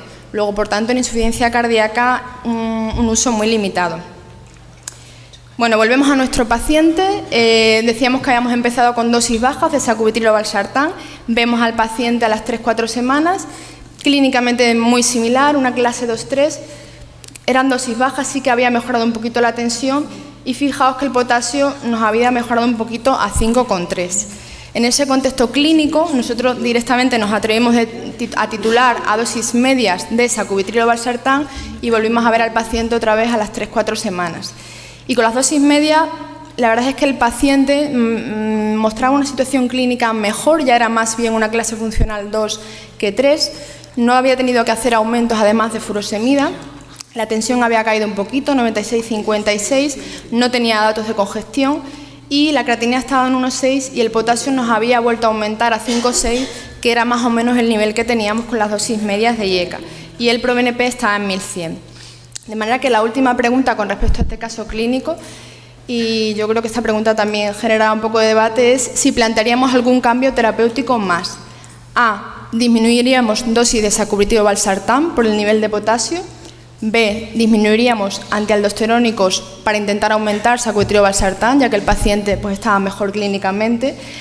C, aumentaríamos dosis de antialdosterónico, pues estamos hablando de una hiperpotasemia leve, o D, mantendríamos mi mismo tratamiento considerando que el paciente ya está optimizado. Activamos si quiere.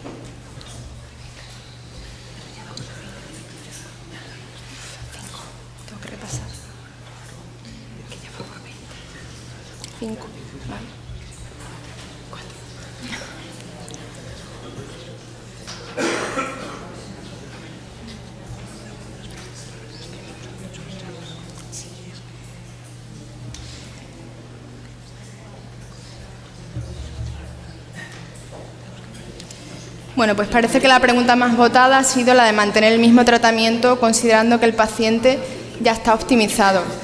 Eh, bueno, hay otras opciones mm, interesantes. La segunda más votada ha sido disminuir sacubitril valsartán y la tercera, disminuir la dosis de antialdosterónico. Probablemente alguna que hay no puesta, que sería solamente disminuir el antialdosterónico acá a la mitad, también sería una opción válida. Lo comentamos si queréis porque me dicen que vamos mal de tiempo. Eh, em, al final. Entonces ya eh, os voy a comentar un poquito en este escenario clínico en el que estamos hablando, en el que tenemos muchas limitaciones para el tratamiento de la hiperpotasemia de mantenimiento, surge la necesidad de crear nuevos fármacos y aparecen en, en el escenario patiromer y ciclosilicato de circonio de sodio, que a partir de ahora va a ser ZS9.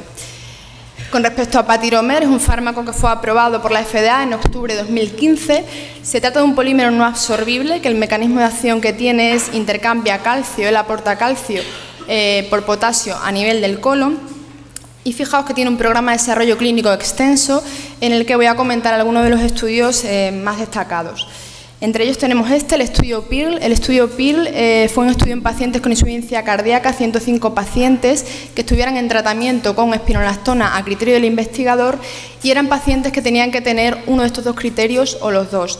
Bien, tener historia de hiperpotasemia con necesidad de suspensión de tratamiento o y que fueran pacientes con insuficiencia renal en tratamiento con un IECA o un ARA2. Y la comparación de patiromer fue frente a placebo. El objetivo de eficacia, los cambios de los niveles de potasio. Fijaos, os muestro los resultados en la diapositiva. A la izquierda vemos eh, que prácticamente desde el inicio del estudio se separan ambas curvas con un beneficio en eh, la reducción de los niveles de potasio estadísticamente significativo y a favor de patiromer y en este trabajo, en el diseño del estudio, lo que se hacía a las dos semanas era que si los pacientes habían conseguido normocalemia, se aumentaban las dosis de espironolactona de 25 a 50 miligramos. Y a partir de ahí lo que se vio es que en los dos grupos aumentó un poquito el nivel de potasio, pero persistía esa diferencia estadísticamente significativa en ambos grupos. Otros resultados interesantes fueron que eh, la hiperpotasemia fue mucho más frecuente en el grupo de placebo, un 24% frente a un 7%, y también muy interesante que en el grupo de patiromer el 91% de los pacientes pudieron llegar a las dosis máximas de eh, frente a un 74% de los pacientes en placebo. En cuanto al perfil de eventos adversos del fármaco, al perfil de seguridad, resulta ser un fármaco bastante seguro. Los efectos adversos más frecuentes que se ven son efectos adversos gastrointestinales, fundamentalmente diarrea y estreñimiento, que sí son más frecuentes en el grupo de patiromer, un 21% frente a un 6%, pero que en general son leves moderados y no llevaron a necesidad de abandonar la medicación. Hay un efecto adverso a nivel iónico con patiromer que además se ve y se reproduce en resto de estudios clínicos con este fármaco y que está relacionado con el mecanismo de acción, que es que baja los niveles de potasio. Eh, suelen ser hiperpotasemias que no son graves, en algún caso sí que ha necesitado corrección, pero en ningún caso se ha visto que estas hiperpotasemias produjeran más arritmias. Magnesio, ¿no? Magnesio. Perdón, magnesio, sí, estoy, estoy diciendo potasio, me refiero a hipomagnesemia. Eh, otro estudio con patiromer es este estudio que os muestro en la diapositiva, el estudio OPAL. En este caso fueron 237 pacientes con insuficiencia renal crónica en tratamiento con inhibidores del sistema renal de aldosterona e hiperpotasemia. Y lo que se valoró fueron los cambios en el nivel medio de potasio a las cuatro semanas.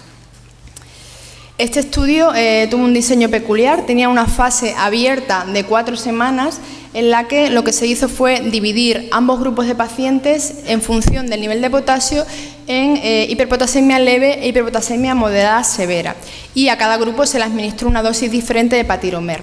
Al final de esta fase abierta lo que se observó es que se reducían eh, el nivel de potasio en todos los grupos con una reducción media de 1,01 y los pacientes que al final de esta fase abierta de las cuatro semanas conseguían normocalemia pasaban a la fase de randomización y se randomizaban bien a la retirada del fármaco o bien a continuar con patiromer. Y lo que se valoró fue el tiempo hasta que se reproducía la hiperpotasemia, que fijaos que prácticamente desde la primera semana se separan las curvas, y además se valoró el porcentaje de recurrencia de hiperpotasemia, que para placebo fue un 60% y para patiromer un 15%. Eh, bueno, se hizo un subgrupo en pacientes con insuficiencia cardíaca en el que se mostró un resultado muy similar con una recurrencia de la hiperpotasemia de un 52% para los pacientes con placebo y de un 8% para el paciente en el grupo de tratamiento. Además, es interesante destacar en este estudio que en el grupo de tratamiento con patiromer el 94% de los pacientes pudieron mantener el tratamiento con inhibidores del sistema renina-angiotensina, solo un 44% en el grupo de placebo. Efectos adversos similares a los que os he comentado previamente, efectos adversos gastrointestinales y hipomagnesemia, lo que os estaba comentando previamente que se reproduce en todos los estudios. Y finalmente eh, vamos a comentar el, segundo fármaco de que habíamos hablado, ZS9. ZS9 es un fármaco que tiene una estructura especial, se trata de un cristal inorgánico que no tiene absorción sistémica y lo que hace es un intercambio selectivo de cationes como el sodio y el hidrógeno por el potasio a nivel intestinal. Tiene también un programa de desarrollo clínico con varios estudios. Este es uno de los más representativos, el estudio Harmonize. Son 285 pacientes, un fase 3 con hiperpotasemia y era un estudio que contaba también con una fase abierta, en este caso de 48 horas, a la que a todos los pacientes se les administraba 10 miligramos de ZS9 tres veces al día y todos los pacientes que al final de esa fase conseguían normocalemia pasaban a la fase de randomización y era a placebo o a tres dosis diferentes de ZS9. Estos son los resultados. Eh, se observó que en la fase de mantenimiento los pacientes que estaban en tratamiento con ZS9 reducían todos de forma significativa el nivel de potasio y además que los pacientes que estaban en tratamiento con el fármaco, fijaos que mantenían niveles de potasio dentro de la normalidad en, en un mayor porcentaje y mayor aún cuanto mayores son las dosis de ZS9 administradas. Se hizo un subestudio del Harmonize en pacientes con insuficiencia cardíaca, 95 pacientes en el que se vio que se reproducían los mismos resultados y en el grupo de tratamiento, como vemos, las cifras de potasio se reducían de forma significativa y también mayor reducción cuanto más dosis de ZS9. En cuanto a efectos adversos, comentar que igualmente que Patiromer es un fármaco muy seguro, con un perfil de efectos adversos muy similar y equiparable, al grupo de placebo, y únicamente y dependiente de la dosis, porque solamente se vio con las dosis altas, con ZS9 sí que se vio más edema y más hipopotasemia, ¿vale? Hipomagnesemia aquí no, pero sí con las dosis altas más hipopotasemia. Bueno, esto es una tabla resumen que recoge las características de los tres fármacos, que básicamente es lo que hemos ido comentando. Y eh, las guías de práctica clínica del año pasado ya nos mencionaban estos dos fármacos y nos decían que había estudios que confirmaban la eficacia y seguridad de estos fármacos para reducción de potasio sérico y prevención de hiperpotasemia recurrente en pacientes con insuficiencia cardíaca e insuficiencia renal en el contexto de tratamientos con inhibidores neurohormonales. De manera que para terminar y como conclusiones de la charla, que en nuestros pacientes con insuficiencia cardíaca la hiperpotasemia es un problema real, más aún cuando se asocia a otras comorbilidades como la insuficiencia renal y en el contexto de tratamientos con inhibidores neurohormonales, que puede producir arritmias, limitación de la optimización del tratamiento y que aumenta la mortalidad, que actualmente disponemos de opciones muy limitadas para el manejo de la hiperpotasemia en el contexto crónico y que estas dos moléculas, patiromer y ZS9, se perfilan como buenas opciones de tratamiento que parecen ser efectivas y seguras para la hiperpotasemia de mantenimiento. Pero que por supuesto vamos a necesitar estudios clínicos con mayor número de pacientes y más a largo plazo que nos permitan valorar lo que realmente nos interesa a nosotros, que es si este tratamiento nos va a permitir una mejor optimización del tratamiento neurohormonal y si además esto se va a traducir en un mejor pronóstico. Y ya está, me he pasado un poquito.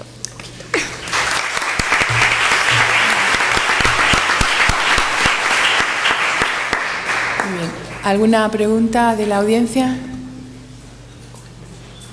¿O comentarios?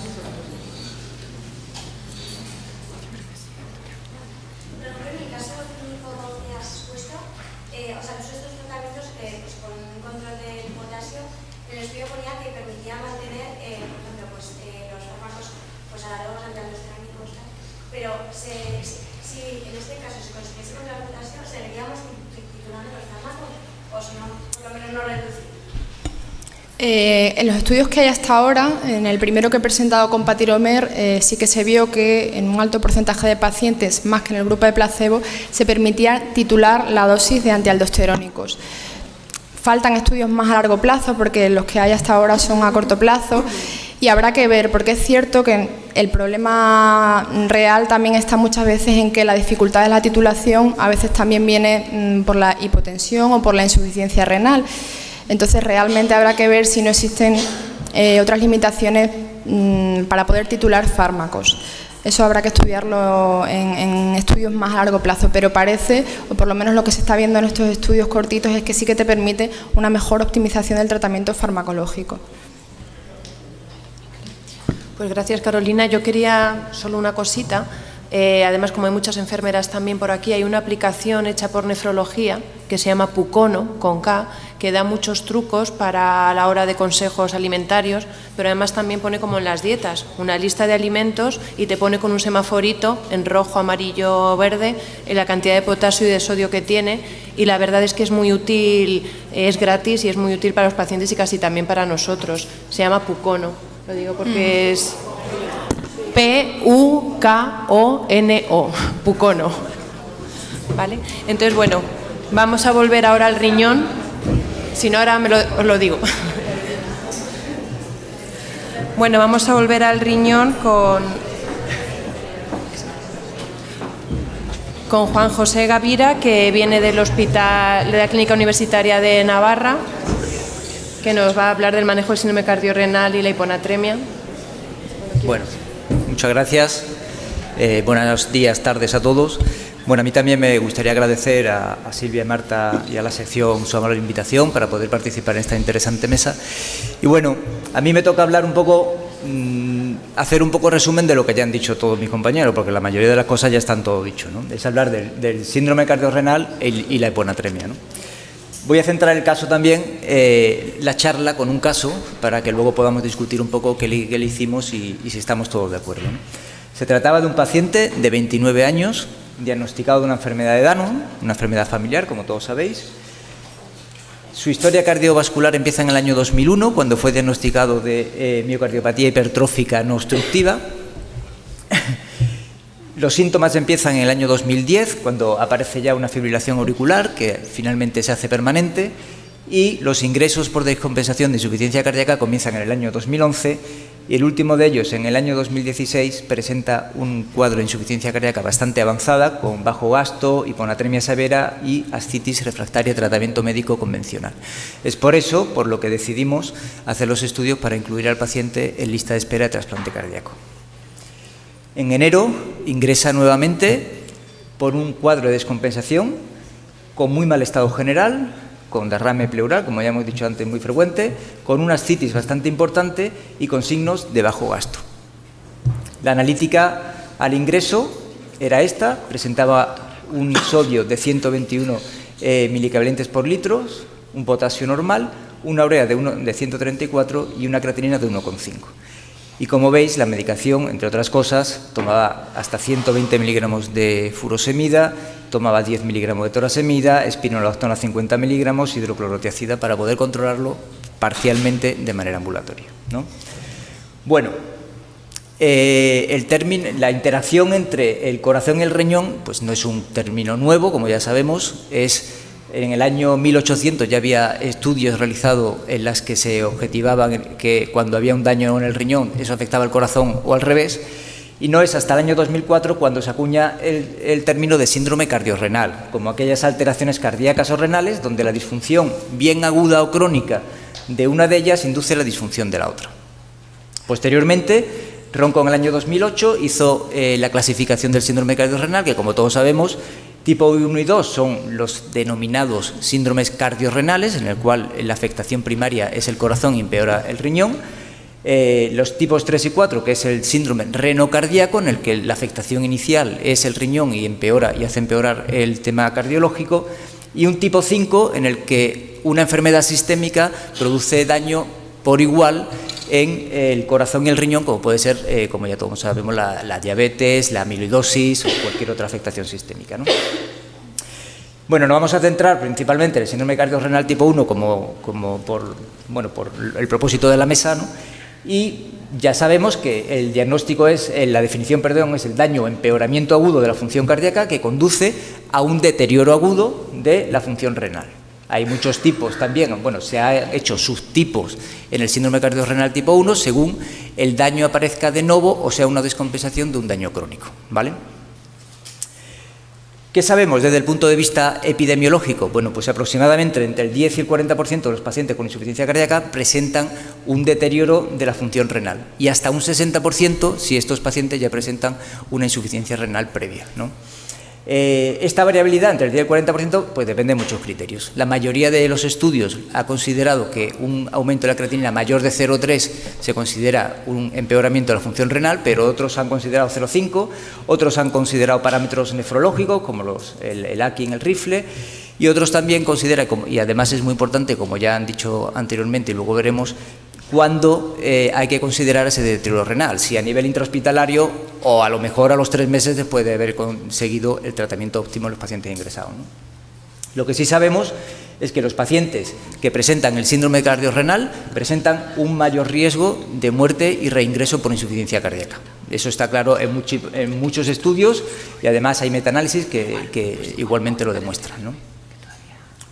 ¿Y cuáles son los factores de riesgo para que un paciente con insuficiencia cardíaca eh, desarrolle un síndrome cardiorrenal? Pues bueno, son muchos, todos lo sabemos, la obesidad y la caquexia, por el aumento de los factores inflamatorios, eh, por, las infecciones propias de la caquexia, por la glomerulonefritis asociada a la obesidad, también la diabetes o la hipertensión arterial, la, proteinuria, la anemia o el déficit de hierro, eh, los episodios previos de empeoramiento de la función renal o de la insuficiencia renal previa, que para muchos, como ya hemos dicho, es el factor de riesgo más importante, y también otros como el sexo, eh, la edad o la fibrilación auricular.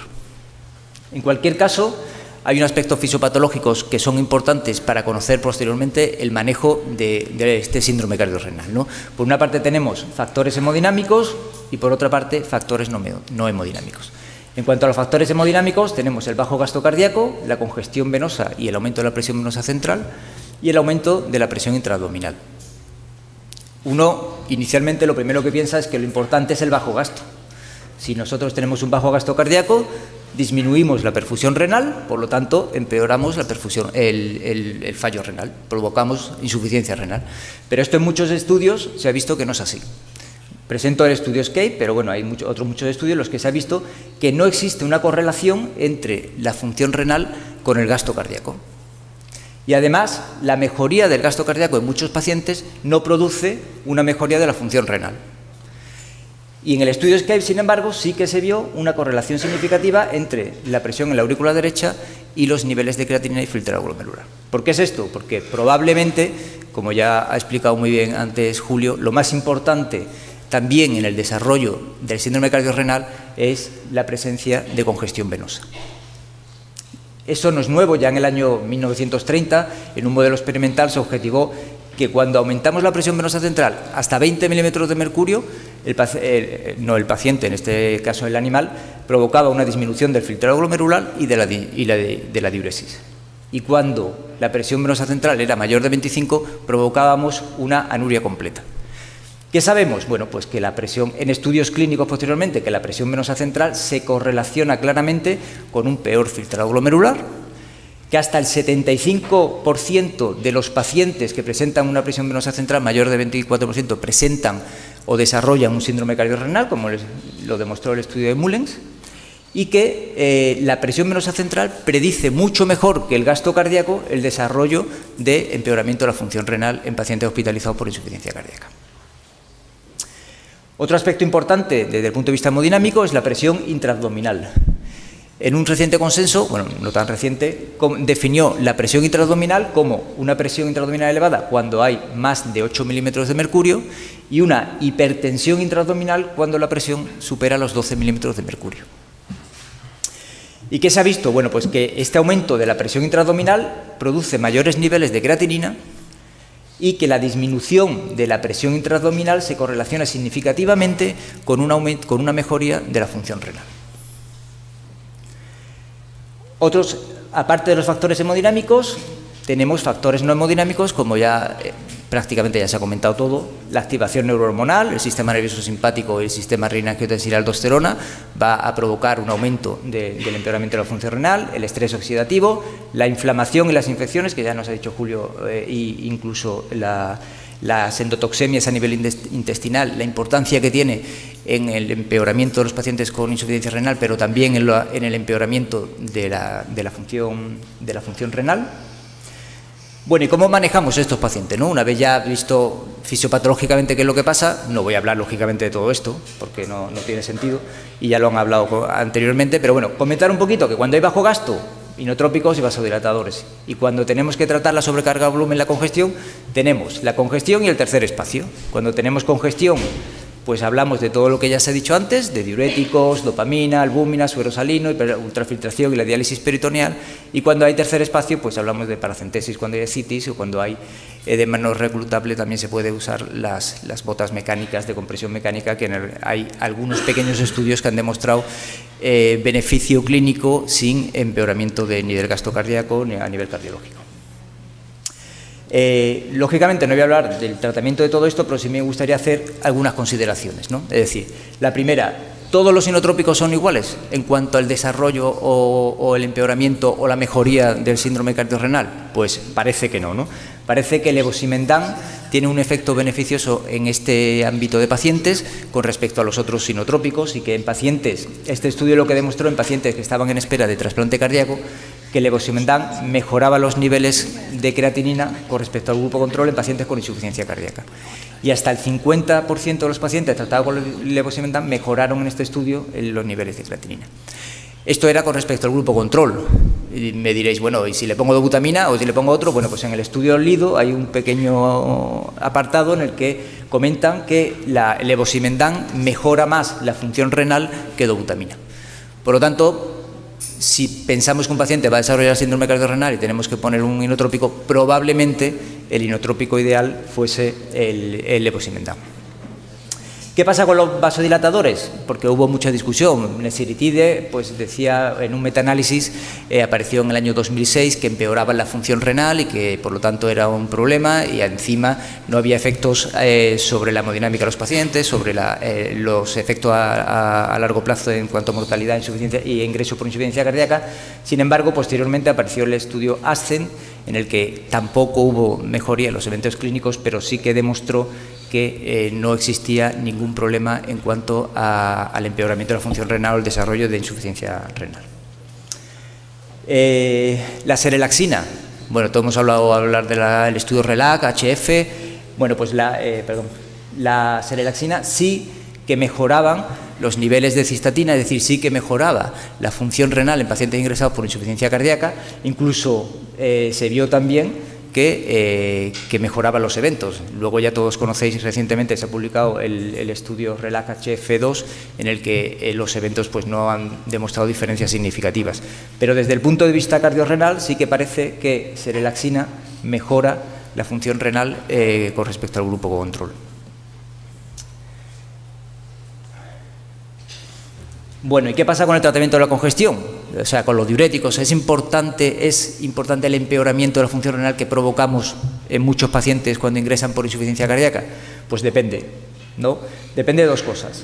Eh, por una parte, depende de si conseguimos controlar rápidamente a los pacientes. Parece que si controlamos rápidamente o hacemos balance negativo en los pacientes, estos desarrollan menos insuficiencia renal que aquellos en los que no conseguido, conseguimos controlar adecuadamente en las primeras 24 o 48 horas la congestión. Y por otra parte, al alta parece que la, eh, congestión eh, es importante en el desarrollo de insuficiencia cardíaca si persiste esta congestión. ¿no?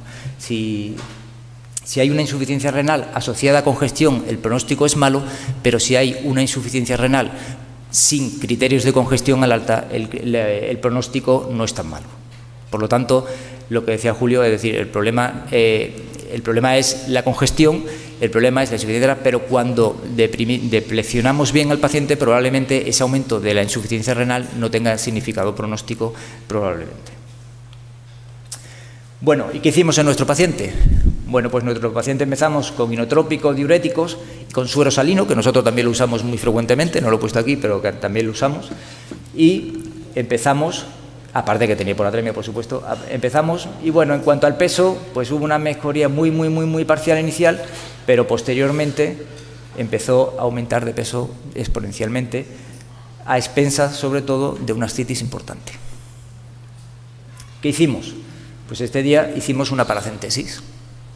Hicimos una paracentesis, le sacamos 12 litros, el paciente lógicamente bajó de peso y hubo una respuesta espectacular, bueno, espectacular, pero hubo una respuesta significativa en la diuresis del paciente. Y además esto lo repetía cada vez, cada vez más, es decir, mejoraba, mejoraba la diuresis, empeoraba otra vez el peso, hacíamos paracentesis, volvía a mejorar y así continuamente. Bueno, ¿qué hacemos? Ya lo hemos curado. Vamos a ponerle un catéter, pero en este caso no para hacer diálisis peritoneal, sino vamos a poner un catéter para ir haciendo paracentesis evacuadora cada dos, tres días. ¿Con eso qué conseguimos? Bueno, pues con eso conseguimos estabilizar bastante bien al paciente, conseguimos adecuados eh, eh, diuresis, más o menos, incluso el riñón, bueno, pues conseguimos que estuviese hasta en 1,1 de creatinina. Bueno, eso en cuanto al síndrome cardiorrenal, ¿no? que es la primera parte de, la charla. Ahora hablamos de la hiponatremia.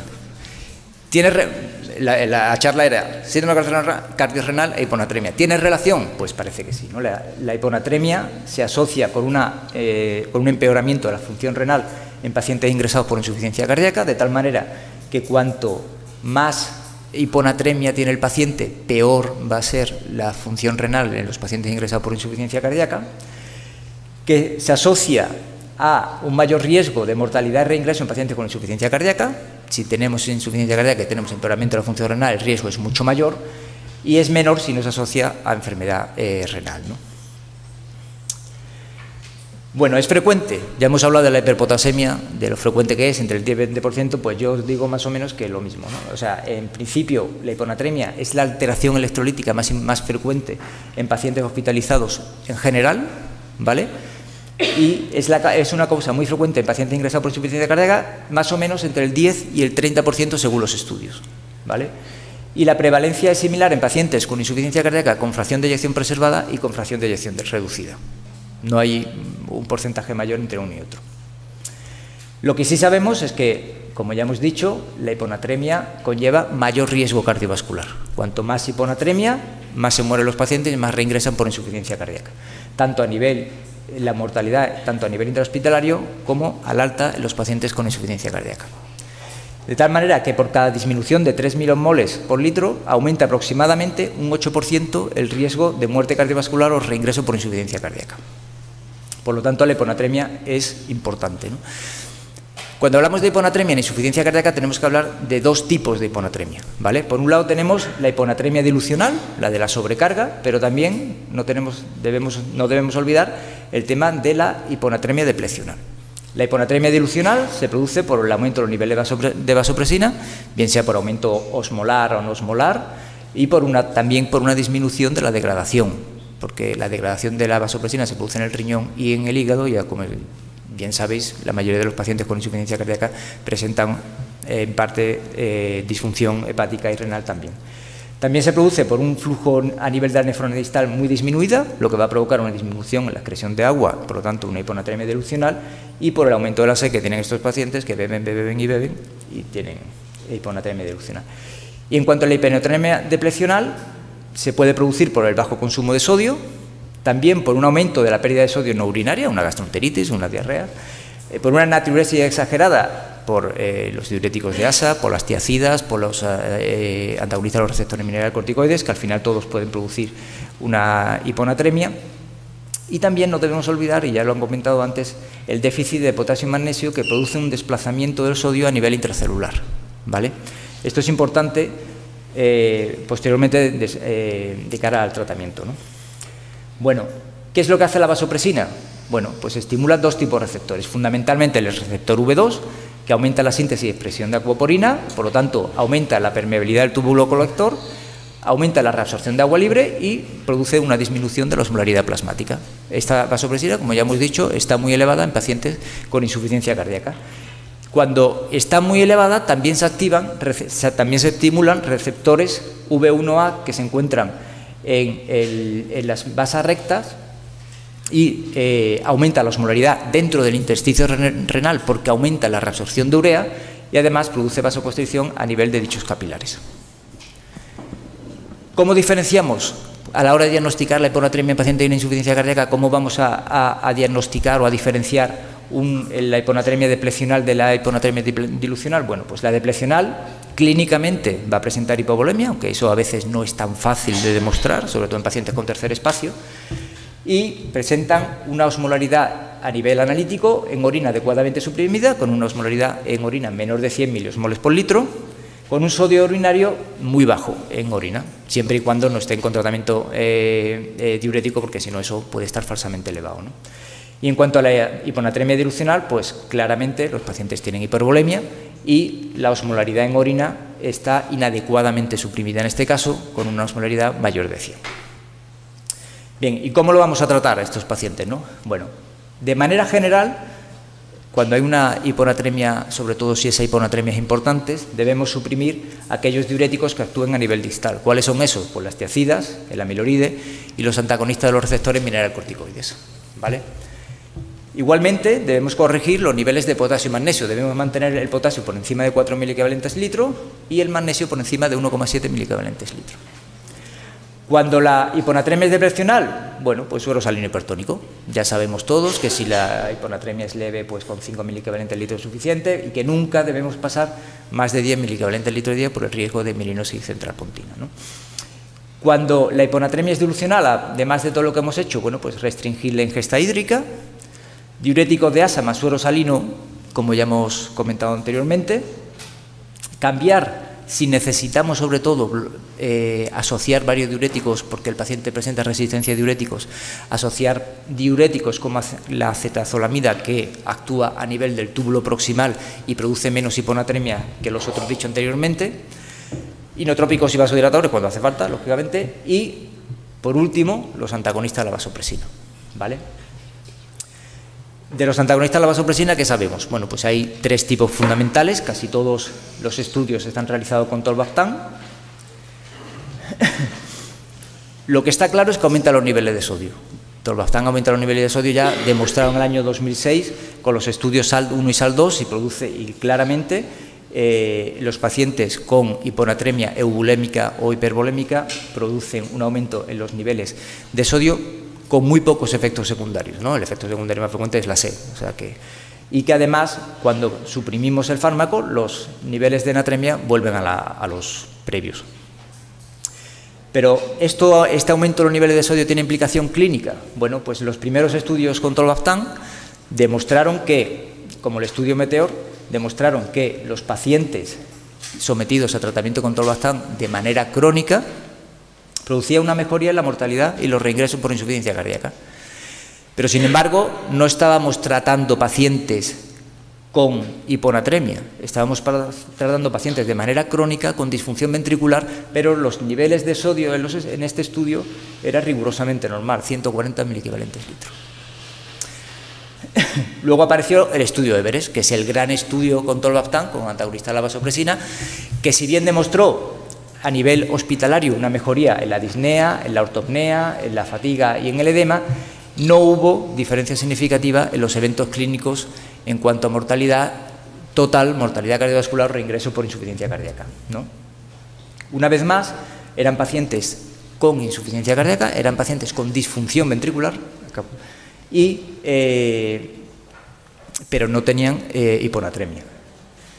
Sin embargo, en un subestudio del, Everest sí que se observó una mejoría significativa en la mortalidad y en, los, y en los reingresos por insuficiencia cardíaca en aquellos pacientes que presentaban una hiponatremia, una hiponatremia más marcada. Es decir, en aquellos con sodio por debajo de 130 parece que el tolvaptan sí que mejoraba los niveles de, eh, los eventos cardiovasculares. Y en pacientes con insuficiencia renal, ¿qué pasa? Ya que estamos en el síndrome renal, bueno, pues apareció el, el Aquamarine Study recientemente en el año 2016 que lo que parece, por una parte, una vez más, tampoco tratamos hiponatremia, porque eran pacientes con insuficiencia cardíaca con sodio normal, pero sí que parece que no provocaba empeoramiento de la función renal en pacientes con insuficiencia renal. Bueno, y muchos de los que estamos aquí tuvimos la oportunidad de hacer un registro retrospectivo en el que eh, valoramos los pacientes que habíamos tratado con hiponatremia e insuficiencia cardíaca con refractariedad diuréticos con tolvaptan. Incluimos un total, perdón, incluimos un total de 241 pacientes, incluíamos pacientes con insuficiencia cardíaca con fracción de eyección reducida y con fracción de eyección preservada, los niveles de sodio en este caso sí que estaban bajos, por debajo de 100, eh, la media era 126 y solo 16 pacientes presentaban un sodio por encima de 135 y la dosis de inicio fue de 17,2 y el fin del tratamiento es 26,4 al final del tratamiento con tolvaptan. ¿Y qué vimos?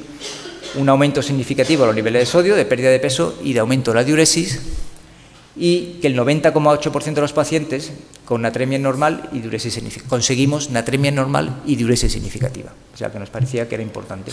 Y además, eh, los niveles de creatinina no se afectaron durante el tratamiento con tolvaptan nos eh, aventuramos y todo a hacer un decálogo sobre el uso de tolvaptan en pacientes con, hiponatremia e insuficiencia cardíaca, no lo voy a comentar porque ya todos lo sabemos, pero bueno, básicamente que consideramos eh, comenzar tratamiento con, con cuando los niveles de sodio plasmático son inferiores a 130, básicamente por el estudio, su estudio Everest que demostró una mejoría de, de los eventos clínicos en este grupo de pacientes. y bueno, ahí está, lo tenéis cuando queráis en internet bueno, ¿y nuestro paciente qué pasó? Bueno, pues nuestro paciente con todo el tratamiento que le pusimos, pues bueno, fuimos consiguiendo, incluso también le pusimos tolvaptan, fuimos consiguiendo unos niveles de sodio aceptables, llegamos hasta la dosis máxima recomendada, que es tolvaptan 60 miligramos, y bueno, el daño renal no objetivamos incluso una mejoría de la insuficiencia renal. Pero, ¿qué pasó?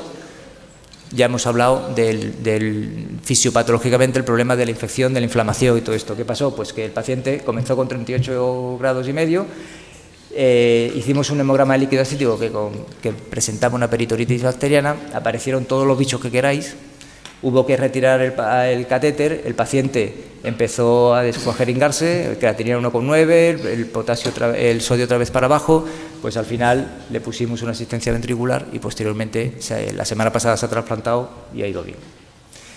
Y nada más, como conclusión, el síndrome cardiorrenal es un importante fenómeno clínico asociado con un peor pronóstico en pacientes con insuficiencia cardíaca, que conlleva múltiples mecanismos fisiopatológicos, por lo que el manejo suele ser complicado y con poca evidencia científica, que se asocia, la hiponatremia se asocia con, el síndrome cardiorrenal, que lleva a un factor, eh, un mal pronóstico en pacientes con insuficiencia cardíaca y que los antagonistas de la vasopresina es un fármaco a considerar en pacientes con insuficiencia cardíaca congestiva e hiponatremia severa. Muchas gracias.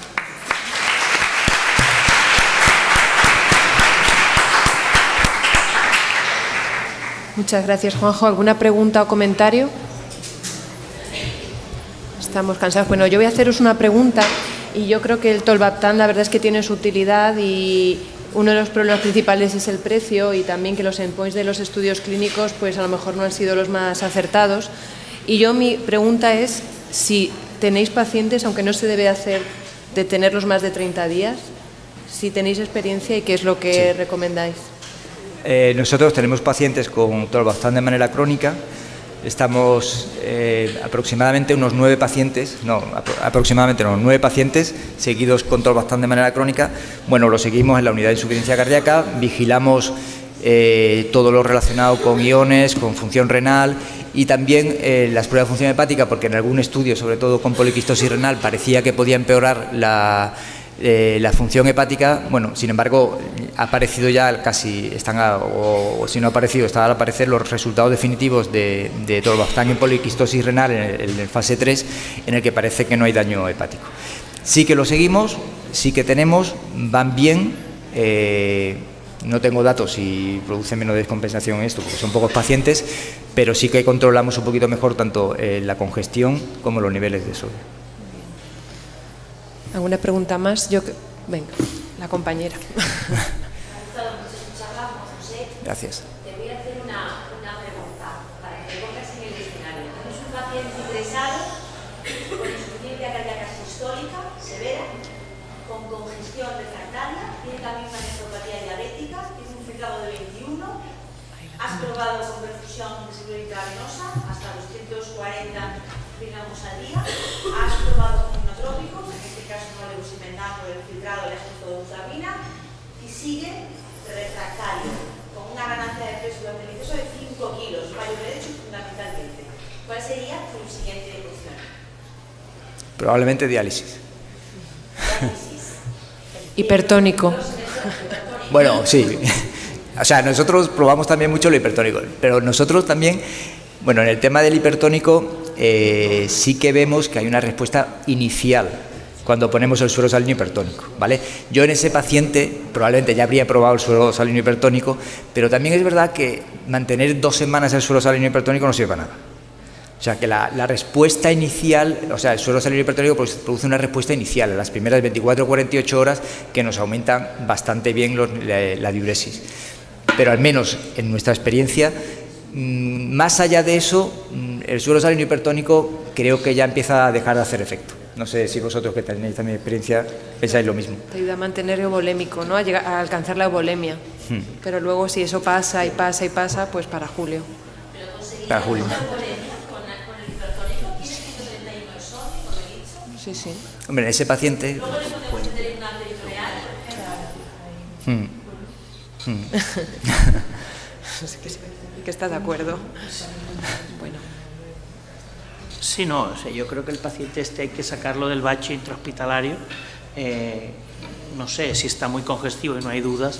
Yo creo que es, es, es secuencialmente ir con dosis altas de furosemida, suelo hipertónico, eventualmente contemplar la, las teacidas, la hidrotona, en este caso podría ser acetazolamida también, no sé, hay que... Eh, sí, la dopamina, nosotros usamos mucho la dopamina también, o sea, se puede hacer muchas pruebas, pero en ese este paciente, paciente concreto tan complicado... Ese enfermo también podría tener mucho tercer espacio y en este caso yo creo que una estrategia óptima y que además es recomendada es, por ejemplo, en este caso tiene citis, es, es la paracentesis, claro, también.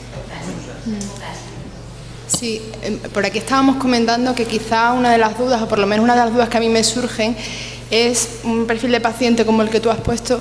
Eh, ¿En qué momento un paciente que ya empieza a ser refractario, que has utilizado el hipertónico, cuando piensas en alguna estrategia más, eh, ¿en qué piensas? ¿En la diálisis peritoneal ambulatoria o piensas antes en ponerle un elastómero, probar con elastómero? O sea, quizá cuando dar ahí cada paso, En probablemente paciente- depende de la experiencia de los centros, ¿no? Y ¿El depende un paciente con, perdón? ¿Perdón? Eh, No he entendido la pregunta. ¿En paciente? En un paciente, por ejemplo, como el que estamos Sí. hablando en el caso clínico, si ya pensando que ya hemos utilizado en varias ocasiones salino hipertónico, pero que el paciente sigue pues, ingresando, sigue haciendo episodios congestivos, quizás pensar ya ahí en la diálisis peritoneal ambulatoria o probar otra estrategia, otra estrategia de descongestión como pueden ser las bombas elastoméricas. Quizás cuando dar el salto o cuando... Nosotros no tenemos experiencia con elastómeros, entonces no te, no te puedo decir porque no, no, no sé cómo, cómo funcionaría. En la práctica clínica diaria no lo usamos.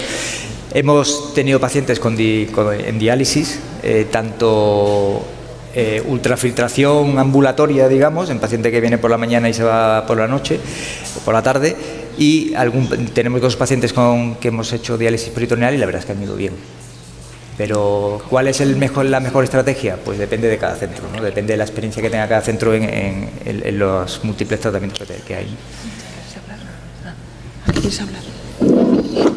Yo este es el paciente donde no me planteo los elastómeros. O sea, si ya has fracasado con todas las medidas que ha comentado la compañera, el elastómero no veo un... Vamos, a lo que lo pienses ya en una situación de hospicio y tratamiento fuera del hospital como situación terminal, pero para resolver la situación yo creo que el elastómero no es esa la intención. Sí, que vamos. Bueno, pues yo creo que ya vamos a cerrar la mesa, daros las gracias a vosotros y a los ponentes y yo creo que la conclusión es que el manejo de la congestión es difícil, que tenemos a muchísimos pacientes en esa situación, que al final es un arte y que pero que tenemos que seguir pues luchando para buscar las estrategias mejores para estos pacientes, que hay muchas. Hay que adecuarlas a cada entorno y a cada paciente. Y esta es la aplicación, mirar, no la hemos conseguido. Para, la verdad es que es de los nefrólogos, no sé el grado de validación, pero está muy bien. Así que muchas gracias y hasta otra.